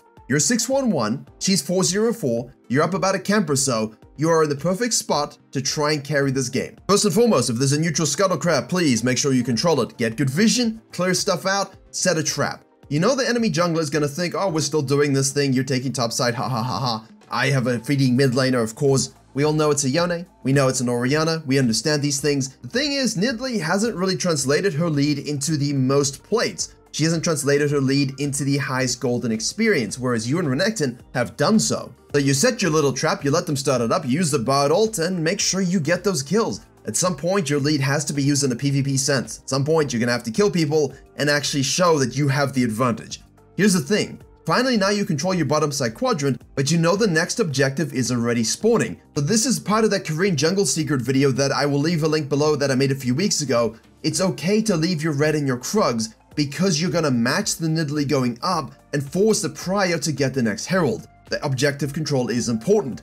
This is the thing about the jungling principles they use in high elo. They know that they need to deny the enemy jungler whatever they want as much as possible. Even if it means they only get 8 out of 10 of what they wanted, if the enemy jungler only gets 5 out of 10 or 4 out of 10, you have the lead. And that's all you need to 1v9 games. It's okay to leave some camps, some objectives, to go get the more important ones, which is Herald, and making sure Nidalee doesn't get Herald. Even the second one is still useful. And here's where things get really interesting for the takeover, because again, the mid game is when you truly take over. I just covered this in a private Virkayu GG jungle video that I don't release outside, but I was against the Kindred and I did a solid job denying them, but at a certain point we had similar CS and experience levels, but all of that is a foundation for a moment in the later early game and the mid game transition where you just take a two level lead out of nowhere. Everything is set up for that. So you go ahead, you take your red, your Krugs, and Nidalee now doesn't really know what to do. Both of them walk around a little bit weirdly, kind of thinking that the vertical jungling's still going on, which is a bit strange. But I love doing this, what the Viego does right here. He notices through vision what they're doing, and thus drops the Herald with the Orianna and the Ezreal pushing mid lane. I love doing this when a third dragon spawns or so, especially if you can't quite eke out the prio and you can't quite have the vision control. Drop it, let it shove, try and delay the fight, don't die for it, but watch so that Herald do work. So here they go for a tier 2 turret. In the meantime, you try and kill people off and stop them from actually, you know, cutting off your herald. What this does if your team has to now reset and there's nothing for you to do on the map, emphasis. If there's nothing for you to do on the map and your team are resetting, don't greed to trap in their jungle, don't try and be a hero with 3000 gold in your pocket, simply fall back to your blue side and do a full sequence down. The first one all game bless. You go down from one camp to the next, you take everything off the map, you have a great two item spike, you don't have boots, but you don't care, it doesn't matter. Nidalee's completely compromised, you have a two level lead, look for her, look for a pick, once your team is back on the map. They've gone back to base, they're reset, they're good.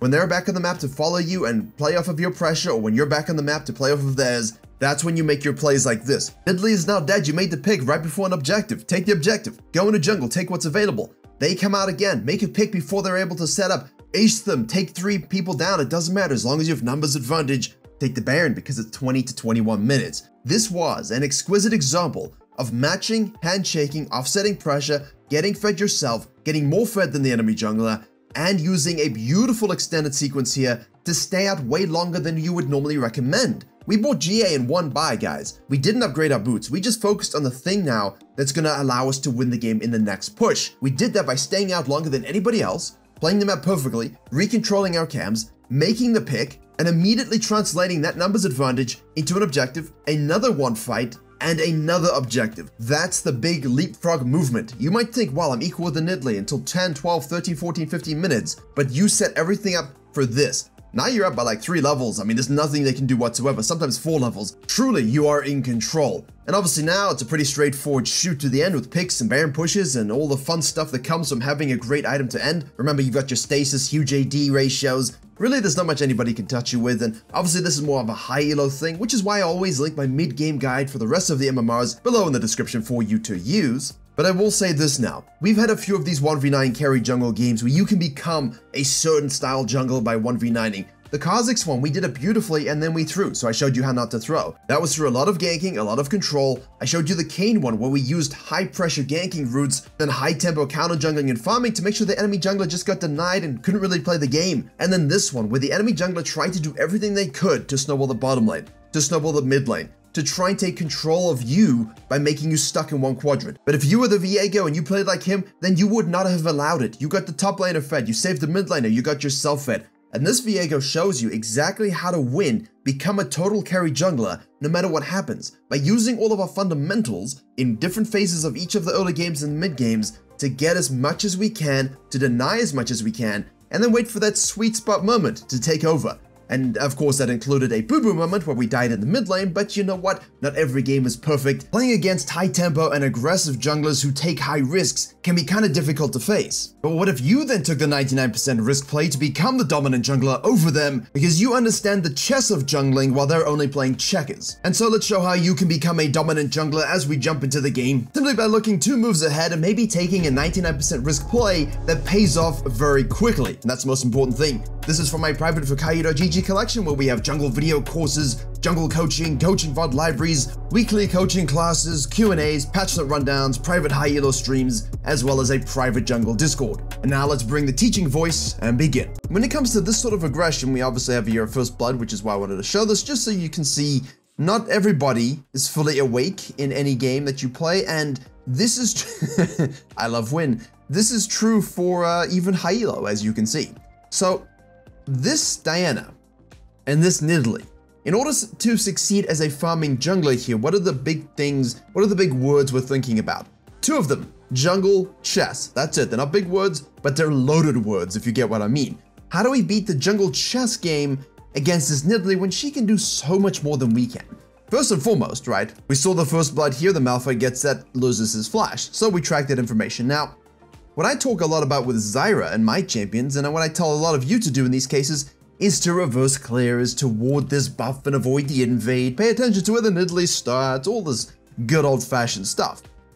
What we can do as well from the Diana's perspective is say, listen, as I watch this develop down here, hey, I could start on the blue side, path upside, and Nidalee, in order to invade me, will have to do this, cut across and do this. Or do this, gank this, and then invade me here. So if my clearing is very, very fast, like it would be on Karthus, on, you know, other champions like that, I might be able to get away with it. But at the same time, this is where the chess battle begins, and you're gonna see what I mean. So we're gonna do Blue Grub Wolves. We know the Nidalee is a bit psychopathic at this stage, as they all are. you know, she wants to do the red side quadrant into mid lane, but she's gonna see this fight that we're watching down here. She is going to rotate to this. Okay, now there's game sound. Sorry, the game sound wasn't working. So basically, she does rotate HCS. We see it, the spear hits. This is what you should do as a juggler. You're doing Krugs, you plan on going all the way up to the Raptors, and there you go. Now, from the Diana's perspective, cool, I'm crossing, you know, 226, 225, not amazing, but pretty damn good. I can just full clear do my thing, which is what I've been telling you to do, isn't it? Don't compromise and overreact to a jungle doing something aggressive by trying to do this kind of stuff, by trying to do this kind of stuff before you have to. Now, if this is gankable and we can cut and do it, we'll do it. However, watch what she does. It's very important here that you play your game, but at the same time, while you're doing that, what is the Nidalee going to do afterwards, right? Most likely, she's going to go up, take this, and gank this, or take this and go here, right? Or she could translate directly from the bottom lane all the way up to the mid lane. So we're going to get ahead of the Nidalee now. Yes, we don't want to compromise our game plan, and the idea is to full clear, but the root of all jungle success is the chess game of jungle denial. And this Diana does it better than anyone on a farming jungler. So, we know that the Malphite still has no flash because he went flash queuing to get that first kill. So we shadow here. Why? Because if we tracked him, as we should have, oh look, there she is, you know, he wards. Again, let's look at this from our perspective. We're watching, and we're watching, and we see him, and he moves up, and he wards, and he comes back. Oh no, man, I wonder, wonder what he could have done to behave in such a way. He warded. So don't go and sit in this, right? Like, kind of like I almost did in that Zyra example last week or two weeks ago. And it was warded, I saw it, wanted to go for the gank, the usurp position poorly, and I'm like, well, you've revealed me, so I'm going to walk through it now. Diana doesn't do that. Diana uses the Fog of War here to position well we have Taliyah, who's about to ding level 3. That's the most important thing. Once she has level 3, we can actually go in on this. There it is. That's what we're waiting for. Now we position, look at the Fog of War. You see this? This minion's right here, or right in the fringe. Exquisite pathing. We want to get ahead of this Nidalee, who's most likely going to do this for level 3. And if she went from bottom lane to mid lane, she would have already done so. But again, she'd be level 2, and that's not really very useful. So, we move on in here. No flash. WE combo. Guy gets stunned. Chase down with Qs. We can obviously follow up with the uh, Diana Q. We flash the Nidalee to get into the minion wave, right? That's the most important thing here. We flash away from the Nidalee to get into the minion wave. So let's look at that again. All right, whole playthrough again in real time. She's doing this. We wait for three. No, faster than real time. Come on, real time. There we go. Hit it. Go in. Obviously, we'll have another Q as long as we do our QE buffer, which is what I talked about in the tips and tricks video. The Nidalee flashes in, we immediately flash because we don't want to get caught here for execute damage, all of that good stuff while there's a cannon minion wave. So we want to make sure we get into our minion wave as soon as possible. We are able to hit a Q onto the Nidalee, we're able to get an auto passive onto the Nidalee, and the Taliyah keeps doing DPS the whole time. Malphite's going to TP in. Now, mind games. Watch this. Mind games. We're low. Nidalee's low. We're moving this way. Nidalee shadowing us. Trust me, you've been in this situation. Well, I trust you, you've been in this situation, but trust yourself. You have been in this situation. Pathing upwards, we want to go do this. She knows we did this, uh, but she's Nidalee, she hits one spear, we can die. So what do we do? What would you advise yourself to do here? Just go back to base, right? Ward, go back to base, and defend your red afterwards, but it's a Nidalee. So there's a risk from the Diana's perspective. So what she says is, okay, look, I'm to try and face check you, because if you miss a spear, and of course if I hit my Q, I can actually do something about that. So she does hit it, but now walks the other direction because Malphite immediately moves his big, fat, thick, beautiful body, uh, St. Patrick's Day was a while ago, into position to cut off the Taliyah who needs to go back to base. We don't have mid prio. If we did, we can go, but we don't, so we don't. Follow? Good. This means we need to leave. Nidalee sees the rock solid guy, avoid the rock solid ground, and basically now we're basically just posturing. A lot of basicallys. We walk into the spear. This is where we have to be careful. Nidalee obviously goes in here, uses the flash, and basically now we're like, well, what can I do? That's the problem. So it looks on the face of it like, okay, well, why didn't she just leave? Because there's the threat of just losing this, and we're mind gaming the low HP. The Diana is mind gaming that she can actually be able to do this and outplay the Nidalee. But the Nidalee hits that nice max range spear, she uses the flash properly, and she gets the kill. Great, but look at this. You see what I'm saying? Look how easy this is. This is the worry. This was going to happen anyway, right? 100%. But what the Nidalee didn't pay attention to, that the, of course, uh, Diana was trying her best to pay attention to, was the prio of the lanes. The Renekton goes over the wall, and he's gonna snag this kill from her. Hopefully, maybe. Let's see. One more order, baby. Oh boy, spacing, healing. Here we go. There we go. Everywhere we go, go. Diana's like out of base, running directly to this. Oh my goodness, the mobility of this champion is irresistibly annoying. Now, they're busy doing this. It's fine. Mind games, right? Boom. You thought, what an idiot, right? Diana knows. If I go back to base and ward this, I lose my red. Right? It's gone. I waste a lot of time. She wasted a lot of time. I'm on the other side with no camps up. It sucks. I might as well take the risk of fighting this and hoping I can play around her spear chucks. She hits a spear, she goes in, she has flash, I die. Whatever. She will take my red because she's greedy. My top lane has pride because Renekton's strong. He collapses, I chase. Now we're out of base with an Amto and a Dark Seal and Nidalee super low. So, by basically saying, listen, you can take this piece off the map, my red, I'm gonna take this piece off the map, which is more valuable at this particular stage for you to say out, and obviously, I would love to deny you this, right? There you go. So we take the fight knowing that not only if we lose do we lose red, but we take it knowing that if we do lose and we lose red, we will be able to get payback very, very easily because we had the prio advantage, and, you know, honestly, we can just run in and quickly do the same thing. Huge. Now, the Nidalee knows straight up that this is gone, that this is probably gone. Diana basically can say, hey, listen, I can fall back to this quadrant here, I can look to dive this, but I know Nidalee's going to be coming to the bottom side right now. So what the Diana does is says, okay, I see the Nidalee, I know it's going to happen. Why? Because Nidalee knows that I took the stuff. There's no reason for Nidalee to even go to this side. At all.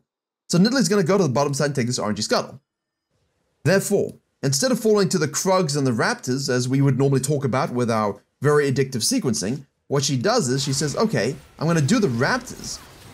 Watch this develop. Ah, hello, Nidalee. Once more, you get free kills. 202, that sucks. Now, ideally, I would want to go and take this, but I can't because obviously everybody's dead, right?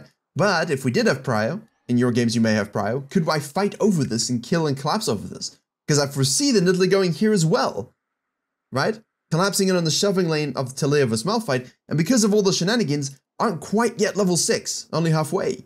Because remember, the 5 minute 30 wave is what gives you level 6. 530 to 6 minutes depending on your elo.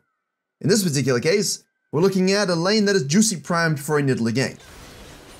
So what does Diana do? Does the wolf camp, and instead of going to the gromp, which is what you were probably thinking of, yes, Virkayu, I understand, don't do the Krugs Raptors, because now you're behind on tempo. Now you can do nothing, and there's nothing on this side of the map, she'll take all your stuff. Sucks. So we cut out the Krugs. We do the Raptors. We do these camps to defend them against counter jungling, and then we can sync up with our bottom lane, right? You taught us that. Well, yeah, yeah. You also know this. But jungle chess between two jungle minds. That's what the game is at its ultimate core. And when you have one champion that can do 40 CS at this stage and another one who has 20, and we're looking at 202 versus 011 with no buy, it alters how you perceive the early game. Except it doesn't, because we know what the Nidalee is going to do, so we're going to rotate over to it, and we're going to shadow once more in the Vision Fog of War, and we will wait for the Taliyah to hit the setup, which is of course what we want. Boom, there we go, no flash, and we'll make sure we hit our Q combo. And to get the E reset, there we go, E auto attack is primed. We should have another one to chuck, which we do, double kill. Oh my goodness. Rakan moves some bottom lane, says, I can do something. We say, no you can't, you budgie bird. Uh, why don't you sit here, I'm going to shove this out a little bit to help. Cool. Now, Normally you would say, that's a job well done. Didn't you tell us to go deny? Well, yes, but the problem is Taliyah's back in base. Rakan's right there. The ADC could rotate. Nidalee could come down to the bottom side as well. And because Nidalee knows when we did the Gromp, and we know when we did the Gromp, we have the respawn timer of this particular camp. So Nidalee going here would make very little sense. She could go Wolves down for full sequence, but most likely she's going to want to look to do something about the bottom lane. Because Nilah is winning that. Well, Xayah is winning that but uh, it feels like the Nilah is winning that, if you get my meaning. But also, a spoiler alert, I guess. I let the future compromise my present. Now, without telling Sarah Connor that, if you please, we're gonna look at the top lane and see, oh look, Gangplank, Gangplank, uh, you were a little low there. Why don't I just mosey on up to the side and get a dive going? You're seeing this rotation be very, very dynamic. Oh look, she went to the bottom side. Even if she did go here and down, it doesn't really matter. She went to Raptors down, right? The Diana decides instead of counter jungling in a somewhat dangerous situation, because Malphite will rotate, Rakan will rotate, ADC will rotate, Nidalee will rotate. Why? When I can just go kill Gangplank. Alright, you take some plates, enjoy yourself, Crocodile. See you later, Gucci. And now I know that the Nidalee is going to be on the bottom side here and wanting to basically reverse steal these camps. So I'm going to go back to base immediately. Not waste any time, and I want to make sure that this isn't something that can happen. We're watching this 2v2, and you see the Diana here walking on down. Nilah does get the win, which is what I was referencing. Um, apologies for spoiling that. But you can see, all can look amazing. long range spear, but it isn't always that way, is it? Flashing, Oh. the Malphite gets the kill. Oh look, Diana's here. Oh dear me. Why is the Diana here, says the Nidalee? Well, we can't, where else is she gonna go? Is she gonna do your wolves into the gromp and then, uh, what? So the Nidalee wasn't doing the same kind of chess game, just playing checkers. The Diana was playing chess the whole time. And then, yes, does include sometimes taking a fight that looks a little doomed because you know you're gonna get it back. One step back, two steps forward. Risk is there because you're basically playing on your own skill and knowledge. And I love this little fog of war gap as well which is what we always want to abuse as much as possible. We have alt. We talked about the uh, full-on Diana combat in the tips and tricks video as well.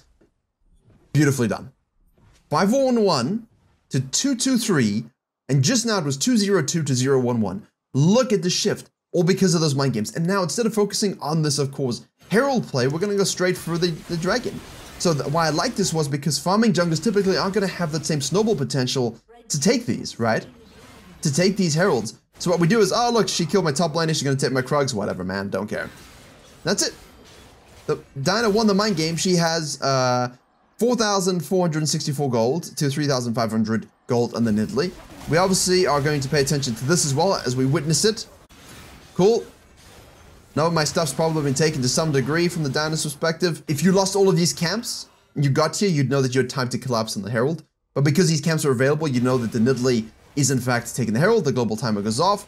Now we see the Nidalee with the global timer going off, finishing the Herald collapsing on our Rock Lady with the Rock Solid Man. We don't finish our red. We reactively path immediately. Immediately.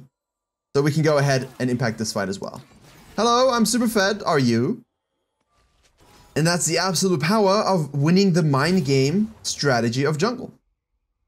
Incredible, isn't it? How different it is when you got a Grandmaster game with a challenger farming jungler gets in Italy, really seeing two steps ahead of that player. And if we jump forward, uh, not a lot happens. Diana just straight up carries and Nilah straight up carries. It was really a runaway stomp.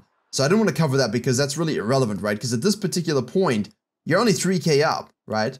You're 3k up in gold. You know, it's very difficult to, to beat a Diana when she's 71 to 44 CS and has done so much damage. Look, you've been jungle diff. It's okay. It's okay to not be the better jungler in the game. What's not okay is not doing something about it. The game you had just before this where you were jungle diff, that's the last time that happens. In this video, we are going to be going over three ways that you can jungle more masterfully, more efficiently, and just damn better than 99% of other junglers. So I'm going to start off by talking about the early game when we have two equal junglers in terms of CS, and then I'm just going to cut away for a brief example about what you could do if you were a farming jungler in terms of true and utter denial and deconstruction of the enemy jungler to get, you know, like a 50-60 CS lead by 14 minutes. Mix of jungle fundamentals as you watch this First Blood Fiesta, and I thought, hey, why don't we find a game where basically a lot of people would complain about laners or say, wow, the game was doomed, we were always doomed to lose. And, okay, replay glitch. We will always look at games through the lens of the pain sufferer, right? In this case, the Lilia. And that's the problem, okay? We have here an early level 1 fight, and I'm sure most of you are used to seeing those in your games, and you end up compromised with your leashless stud. So, in this particular case, no wards placed by red side are living, no wards placed by blue side are living. So, the lily is going to go to the red. Sorry, the blue. The Lee Sin's going to go to the wolves. What do you think he's going to do next? Think about it. What does Lily want to do? Blue, Gromp, Wolves, Raptors, Red, Krugs, she might be a little concerned about Lee Sin potentially invading her. The issue here is we swapped for Scanner, our wood was destroyed, we don't see anything from the blue side's perspective. That can make things a little difficult for us in these kinds of positions. If you want help implementing this information into your own game, I have a free jungle improvement resource and a dedicated program where we have jungle video courses, jungle coaching, coaching VOD libraries, weekly coaching classes, Q&As, patch note rundowns, private high elo streams, as well as a private jungle discord. And I know how to make junglers convert from low elo to gold to emerald to diamond to master plus. If you want to climb faster than anybody you know, jungle diff every game you play, head to virkayu.gg.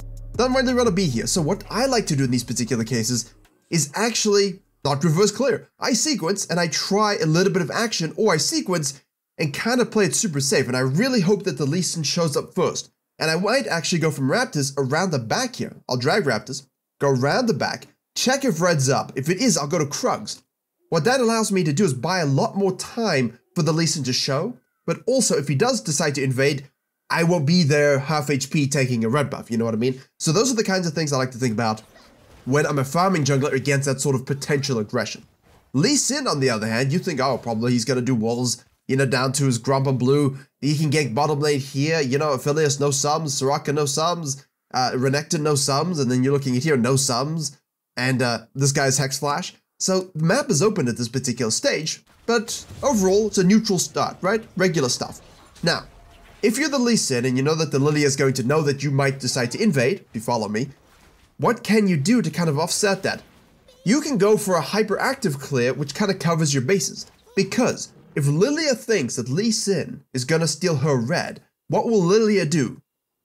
Vertical jungle, right? If you have vision here and assume that the Lee Sin's gonna invade this, then you're not gonna waste your time doing this and farming down, you're just gonna go blue, grab, and probably take a red, right? Maybe take this and gank this, or tank this and gank this. You know, there's a lot of mind gaming going on here, but the Lee Sin makes First Blood Jungle Diff Brain.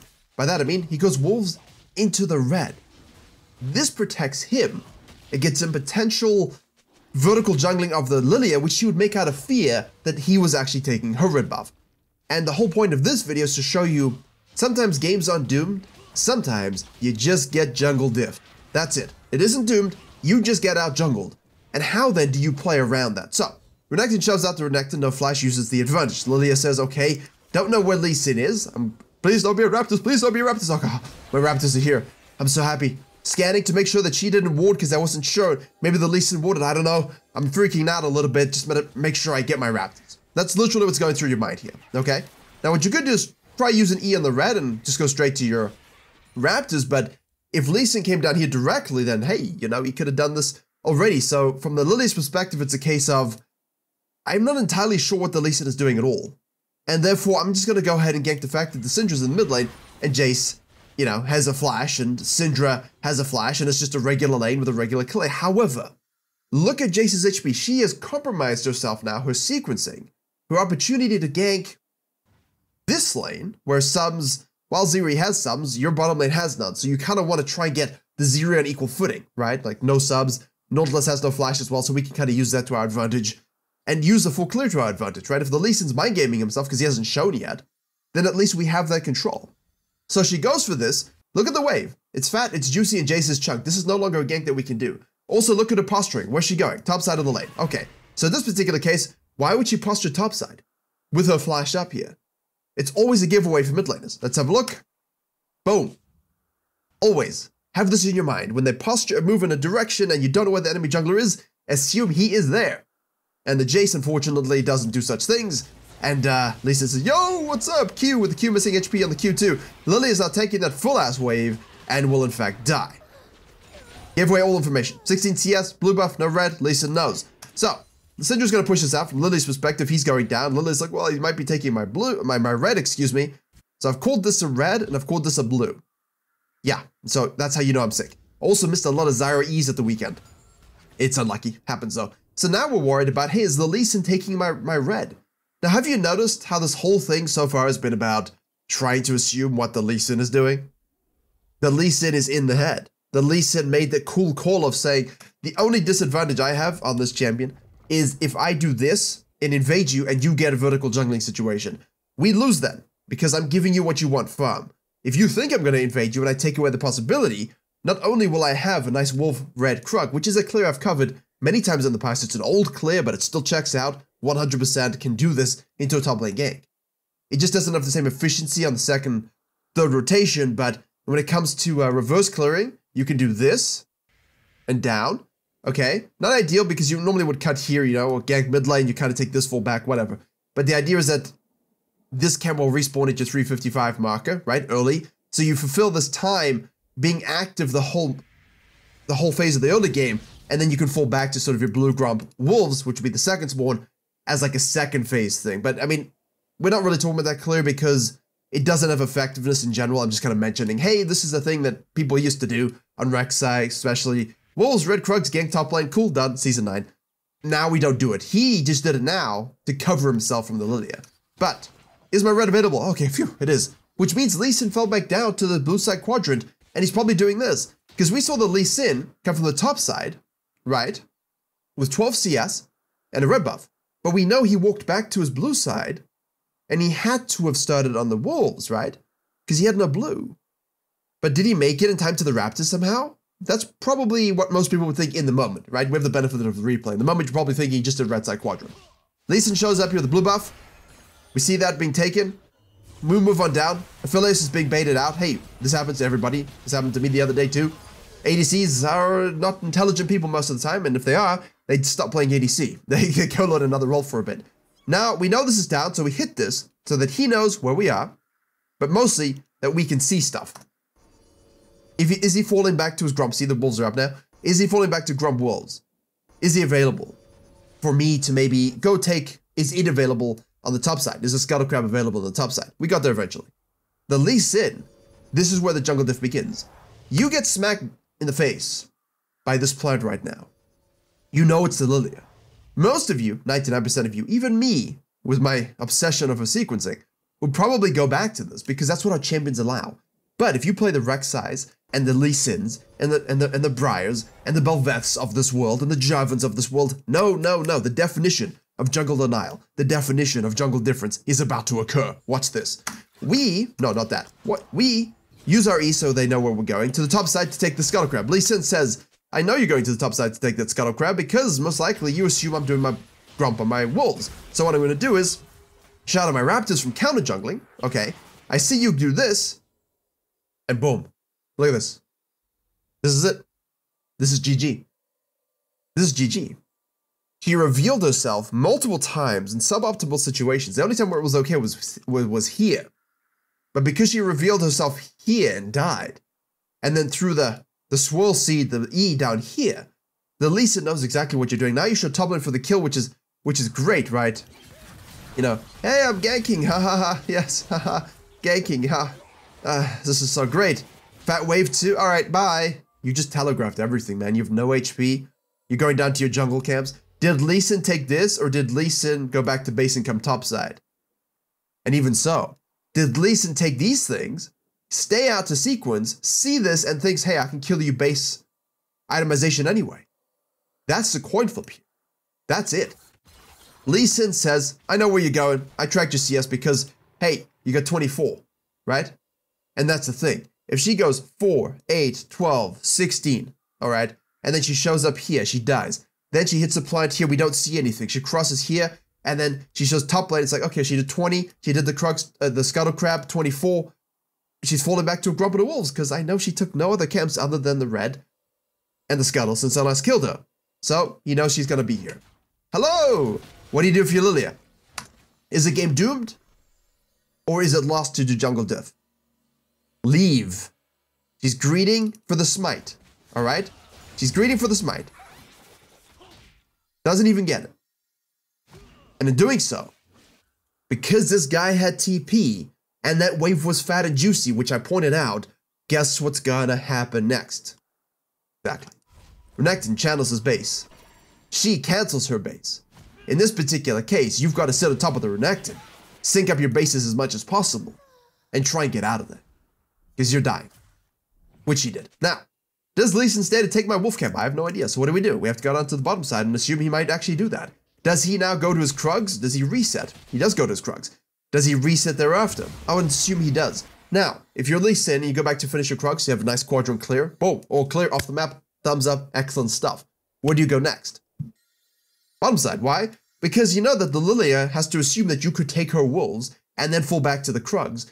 And you could also just take her wolves and go back to base. You could also just straight up go, like, you could do anything. And when we're thinking about the game from Lilia's perspective like this, you're losing. The guy's playing you. End of story. And that's a jungle denial that we're talking about, because she's only got 24 CS in six minutes. So she thinks, okay, why did I go ahead and do my Raptors? Oh, it's warded, of course, because if you watch the Syndra and you watch the supports and they, oh, this looks tasty. Yeah, but this guy knows it looks tasty because he has eyes. He also knows you're going to the bottom side. So much like the challenge videos on the main channel, you know, you might think you're getting away with this, but the enemy jungler, the, the Gurins, the Canyons, this top tier uh, foresters of our world, They know these things. They track these things. They anticipate these things. And that's when they control you. So, what would I learn from this particular game being shut down this hard? First and foremost, play my game early. And I've been saying this a lot personally, all right? We're losing this game. It's, it's out of hand. Random stuff's happening. I'm not going to continue to try and make our plays forcefully. What can I do right now while everyone is dying, all the lanes are dying, the enemy jungle is getting filled? What can I do? I can sequence control my own camps. I'm gonna do that. As soon as he shows somewhere else, like say he shows bottom lane and I'm sequencing here, I'm out. I'm basing before that play even happens and I'm swapping back top side. Maybe he can get some counter jungling or, or, or a herald or something. Anything. Most of the time it's counter jungling. But also you're gonna have a lot of people uh, giving up heralds for dragons uh, strategically in these situations, which you will see in this game as well. So I'll get to that. But the idea is that you are not dying unnecessarily and you still have 50 CS to his 40. And that's the thing. If the Lilia just full cleared, recognized that Jace was doomed anyway and accepted that, tried to do something on the bottom side because she assumed he started Wolves. She assumed he started here. And he hadn't shot it by three minutes, which means we assume he's in our top side.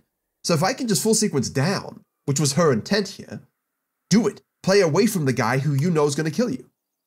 End of story, right? So now Lee Sin is tracked her multiple times and cut off multiple times. Jace goes for this trade. He does in fact miss the Q of the wall, so decides to just flash full on commit, which is of course exactly what you do in those cases. Jungle diff move. She's going to be doing this, spotted on this ward, which of course we like. Still gives value, she has to spend time killing it. We see her, which means we can now take all her camps on this side. Now, the jungle diff move is what I said. Control your camps, right? Let him do his stuff, and just don't give anything for free, but you don't die. And now, if we see the Lee Sin here, we go take all of this, right? We can control all, all of these things. Because our camps are under control. But because our camps are not under control, Lee Sin knows he can go and take them. So now we're losing our camps as well. We go down to the bottom lane with the Syndra, get ourselves a nice turret dive on the unicorn thing, goat thing. See a moon man, say, you can die as well. Okay, nice dive, good macro. Lilia says, fine, I'll take the Herald. He says, I don't care because it's about gold. The Herald is about gold at this particular point for the Lilia. You want to use this for plates, that's it. And he's like, I just got way more than you ever going to get from plates. And I denied your own camps. Yeah, they're going to respawn, but still. So what he does, hears that Herald go ding, takes his Ocean Dragon, sees the red spawning, okay, assumes at this particular stage, you can look, my bottom lane is out of the picture here. Could I go for this? Only if Lilia shows. Only if our bottom lane is in position, which of course they're not. So he doesn't go for the high risk throw, which most people would actually do. She says, oh, I get to control my camps. Cool. Could have also done some counter jungling. Chose not to because negative prio. The negative prio exists because of the mistakes at the beginning. So the better the jungler, the more those early mistakes are going to haunt you, the more difficult the game is going to be. That's the difference between a challenger and a grandmaster, even. So you can imagine the difference between then a grandmaster and a master and then, you know, like a challenger and a diamond and a diamond, right? It, it just keeps getting bigger. Huge when you think about these things. So the Sin then falls back into his camps here, sees the Nautilus roaming and warding. Finally, time to relax and do some farming because I've imparted my wisdom and my lead to the lanes. Cool, I'm gonna do that. Lilia's like, whew, I got some camps, cool. Yeah, that's nice, okay, good. Well, guess what? The Sin knew you were top side, so he knew you did this. He also knew you did this. He also knows now that if you fall back to your red side there, which most likely you did to control your camps, uh, you're going to be back on the top side. Yeah? You're going to be back on the top side. So he can either decide to match you, fist you, destroy you, and so on, or he can say, hey, I see a play made mid lane. Maybe I could make that play myself. Unfortunately for us, the Syndra gets the kill, so we get nothing, but the intent is good. Lilia shows up randomly, and there's a mistake. Now you're saying, but why on earth would Lee Sin be down here? The Lee Sin should be coming topside. Exactly. Exactly. The Lee Sin knows that the Lilia will think that he's on the top side, so he doesn't do that. Who cares about his camps? Her camps are up, and I can take them. And if she comes down here, I will kill her. And if she takes my camps, I don't give a shit because I'm gonna kill them and take all the plates. You follow? It's really tough. It's all about, I know what the enemy jungler thinks I'm gonna do, so I'm gonna do the opposite. And when you have such a big lead, that's when Jungle Now becomes quite intense. And again, if the Lilia doesn't show up here, doesn't rotate to this, and just takes all of this, she might have a better time. But then again, she has negative lane prio. So it's all compounded from those first mistakes. Renekton does move down here, but hey, the Lee Sin is a fed boy. And he's a strong champion who's getting buffed again for zero particular reason. But now you're seeing no more jungle denial. So where's Lilia going? Top side, because why? He knows he's down here. Free plates. Shadowing. Lee Sin cleared this ward. We see the pet here, so we kind of see this from our perspective. No one's really going to notice an in-game. Hello, goat. A little bit of a kick Q combo. Get some slows, get some shields, get some lifesteal. Does a heal. Misses that Q, so she will live. Safeguard back to the Zeri. Moonman tries to do some stuff, but his moon is made of cheese. Okay, sorry, I chuckled at that and gave myself an asthma attack. So basically, the Aatrox is dead. We're gonna activate our Herald here, which is terrible because Jace's got some kills. The Renekton's going down to the bottom lane to try to do stuff here again, but he just died. He's gonna die again. You know, this is silly. We could have hit the plant, moved on up, actually hit this, take this whole thing with him, do the turret damage. What did I tell you? Even in losing game states, you have opportunities to hit turrets. She is not doing that. So, from her perspective, it seems doomed. From her perspective, she's being jungle diffed. From his perspective, he's doing extreme jungle denial. But she's also not doing the things that could allow her to survive in this game and maybe make him come back later on. Will it be difficult? Yes. Of course. Now, could she go to this side again? Yes. I think I might even hazard, honestly, this particular case, I move up, I hit this, now I've got the presence, we hit this turret together, we get the kill, I can shadow it, maybe take something, right? Fall back down to take this outside in rule, and then fall back. Put a control ward here. That's when you win, right? All of a sudden, you've eked out a little bit of push and presence, taken something, fallen back and taken something else, gotten some vision control. Okay. Plates, cash monies, and we're good to go. Yeah, we're good to go. And then maybe you can win the game. Now, unfortunately, we didn't do those things, and of course, you can see the Renekton decided uh, he, in fact, did not want to win the game, and, uh, you know, here we go. Sin just runs into Lilia, and this is besides the point. I really, I mean, most of you here are, could you end up carrying this game with this guy trolling? Hell no. But the problem is you have these games, and nine times out of ten you have these games, there's no troll. People are just dying, people are just playing badly, and you're the one that has to carry them. Is this game winnable? Pfft, tough, but definitely possible. It starts from level 2 though. It starts from level 3, it starts from understanding what you need to do. However, when you're playing the Lee Sin's position, this is exactly what you do to give yourself a 95% chance to win this game, so think of it from the Lee Sin's perspective. Change your mentality, because most of you are probably thinking of this from the Lilia's perspective, and the troll, and the difficulty of having this guy do this to you. Stop. Swap. Become the Lee Sin. And that's the lesson. I want to show you what happens on the other side of the coin. We have a Singed here, okay, with a tank Nidalee top lane. I've seen some weird things lately. Now, he's proxying. Most junglers know at this point, don't let this compromise you. Don't let this compromise the mini game of your jungle matchup and understand where exactly you want to go ganking and where you expect to have lane prio and such things.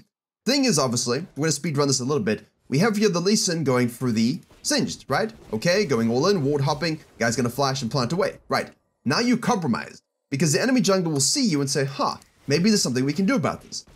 In this particular case, the Zyra decides to actually go on the top side, basically saying, can I risk a little bit of time here to maybe kill him and maybe steal blue? The reason why you go around the top side and not underneath is because it's warded, but obviously this is clearly a mistake because I think if you approach from Fog of War here, you've got max range E, you probably have a better shot, although you don't have Smite and he does. So all in all, I think you probably should not do this. And seeing him here on this red team vision, it's better just to cut down and do what is going to happen next. So focus on that here rather than what's happening now. Also because you need to pay attention to the lanes, just keep an eye on that. Look, you see Singes is in base, the Nidalee's on the top side, we hit a plant, we check out, obviously, an E there. We're to electrocute proc. Now, immediately in these particular cases, usually you see the movement pretty quick, okay? Even if there's an HP compromised laner, the 3v1 equals you probably die. You could maybe turn a kill depending on your champion.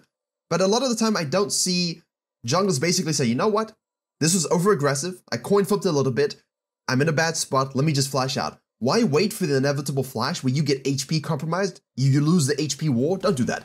Flash now and cut across. Now, from Red Team's perspective of the vision, watch this. We will see the Lee Sin and where he goes next. Compromised, HCS, going to his Gromp. Cut across mid lane for a drive-by. It doesn't matter that he knows where you're going, because you know, if you're watching the lanes, that it's not warded anywhere, right? You know it's clean. So he thinks you're going to be going to this side most likely, or maybe to drive by to bottom lane.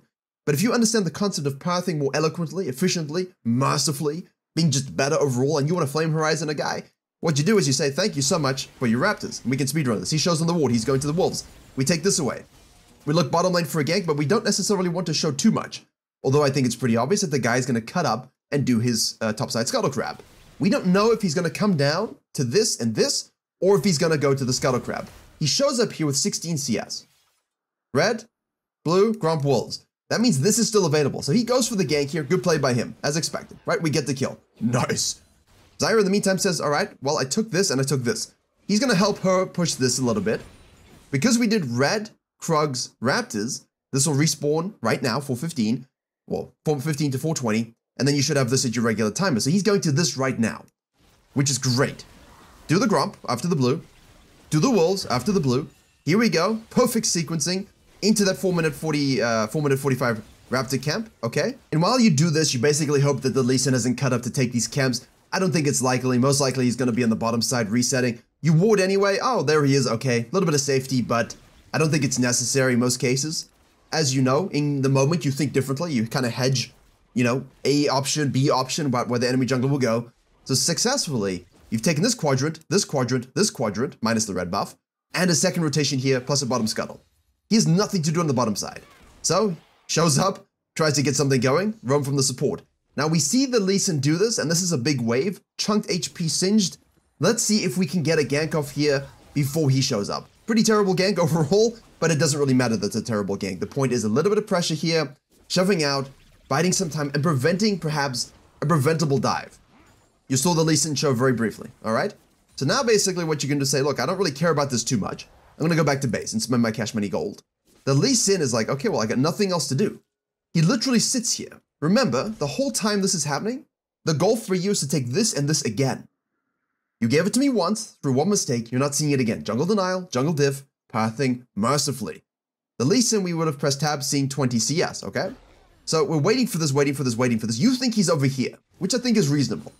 Then what's gonna happen is he's gonna show topside on this dive, eventually, there he is. There he is. There he goes. And because we see this, kill, cool, no assist, beautiful. You can path, always hug the wall, yes. Bracket pathing, outside, in, touch the wall. Don't get spotted by any wards that may exist there. You take the second spawn raptors. And now you can basically decide, do I want the red buff or do I want the Krug? Because at this particular stage, you know the Lee Sin obviously will fall back down to his blue side, but look for a gank, a good opportunity here uh, to try and do something. It's obviously warded, zone the karma, get the assist, no stress, all right? Don't worry too much about anything else other than uh, the fact that the gank is good. And you know Lee Sin at this point is on the top side, so we can go ahead and take the Krugs as well, over the wall. There we go. Could do something here as well, but, you know, I don't really like hedging those kinds of things. You just say, what can I deny the enemy jungler today? And usually that's how we talk about stuff.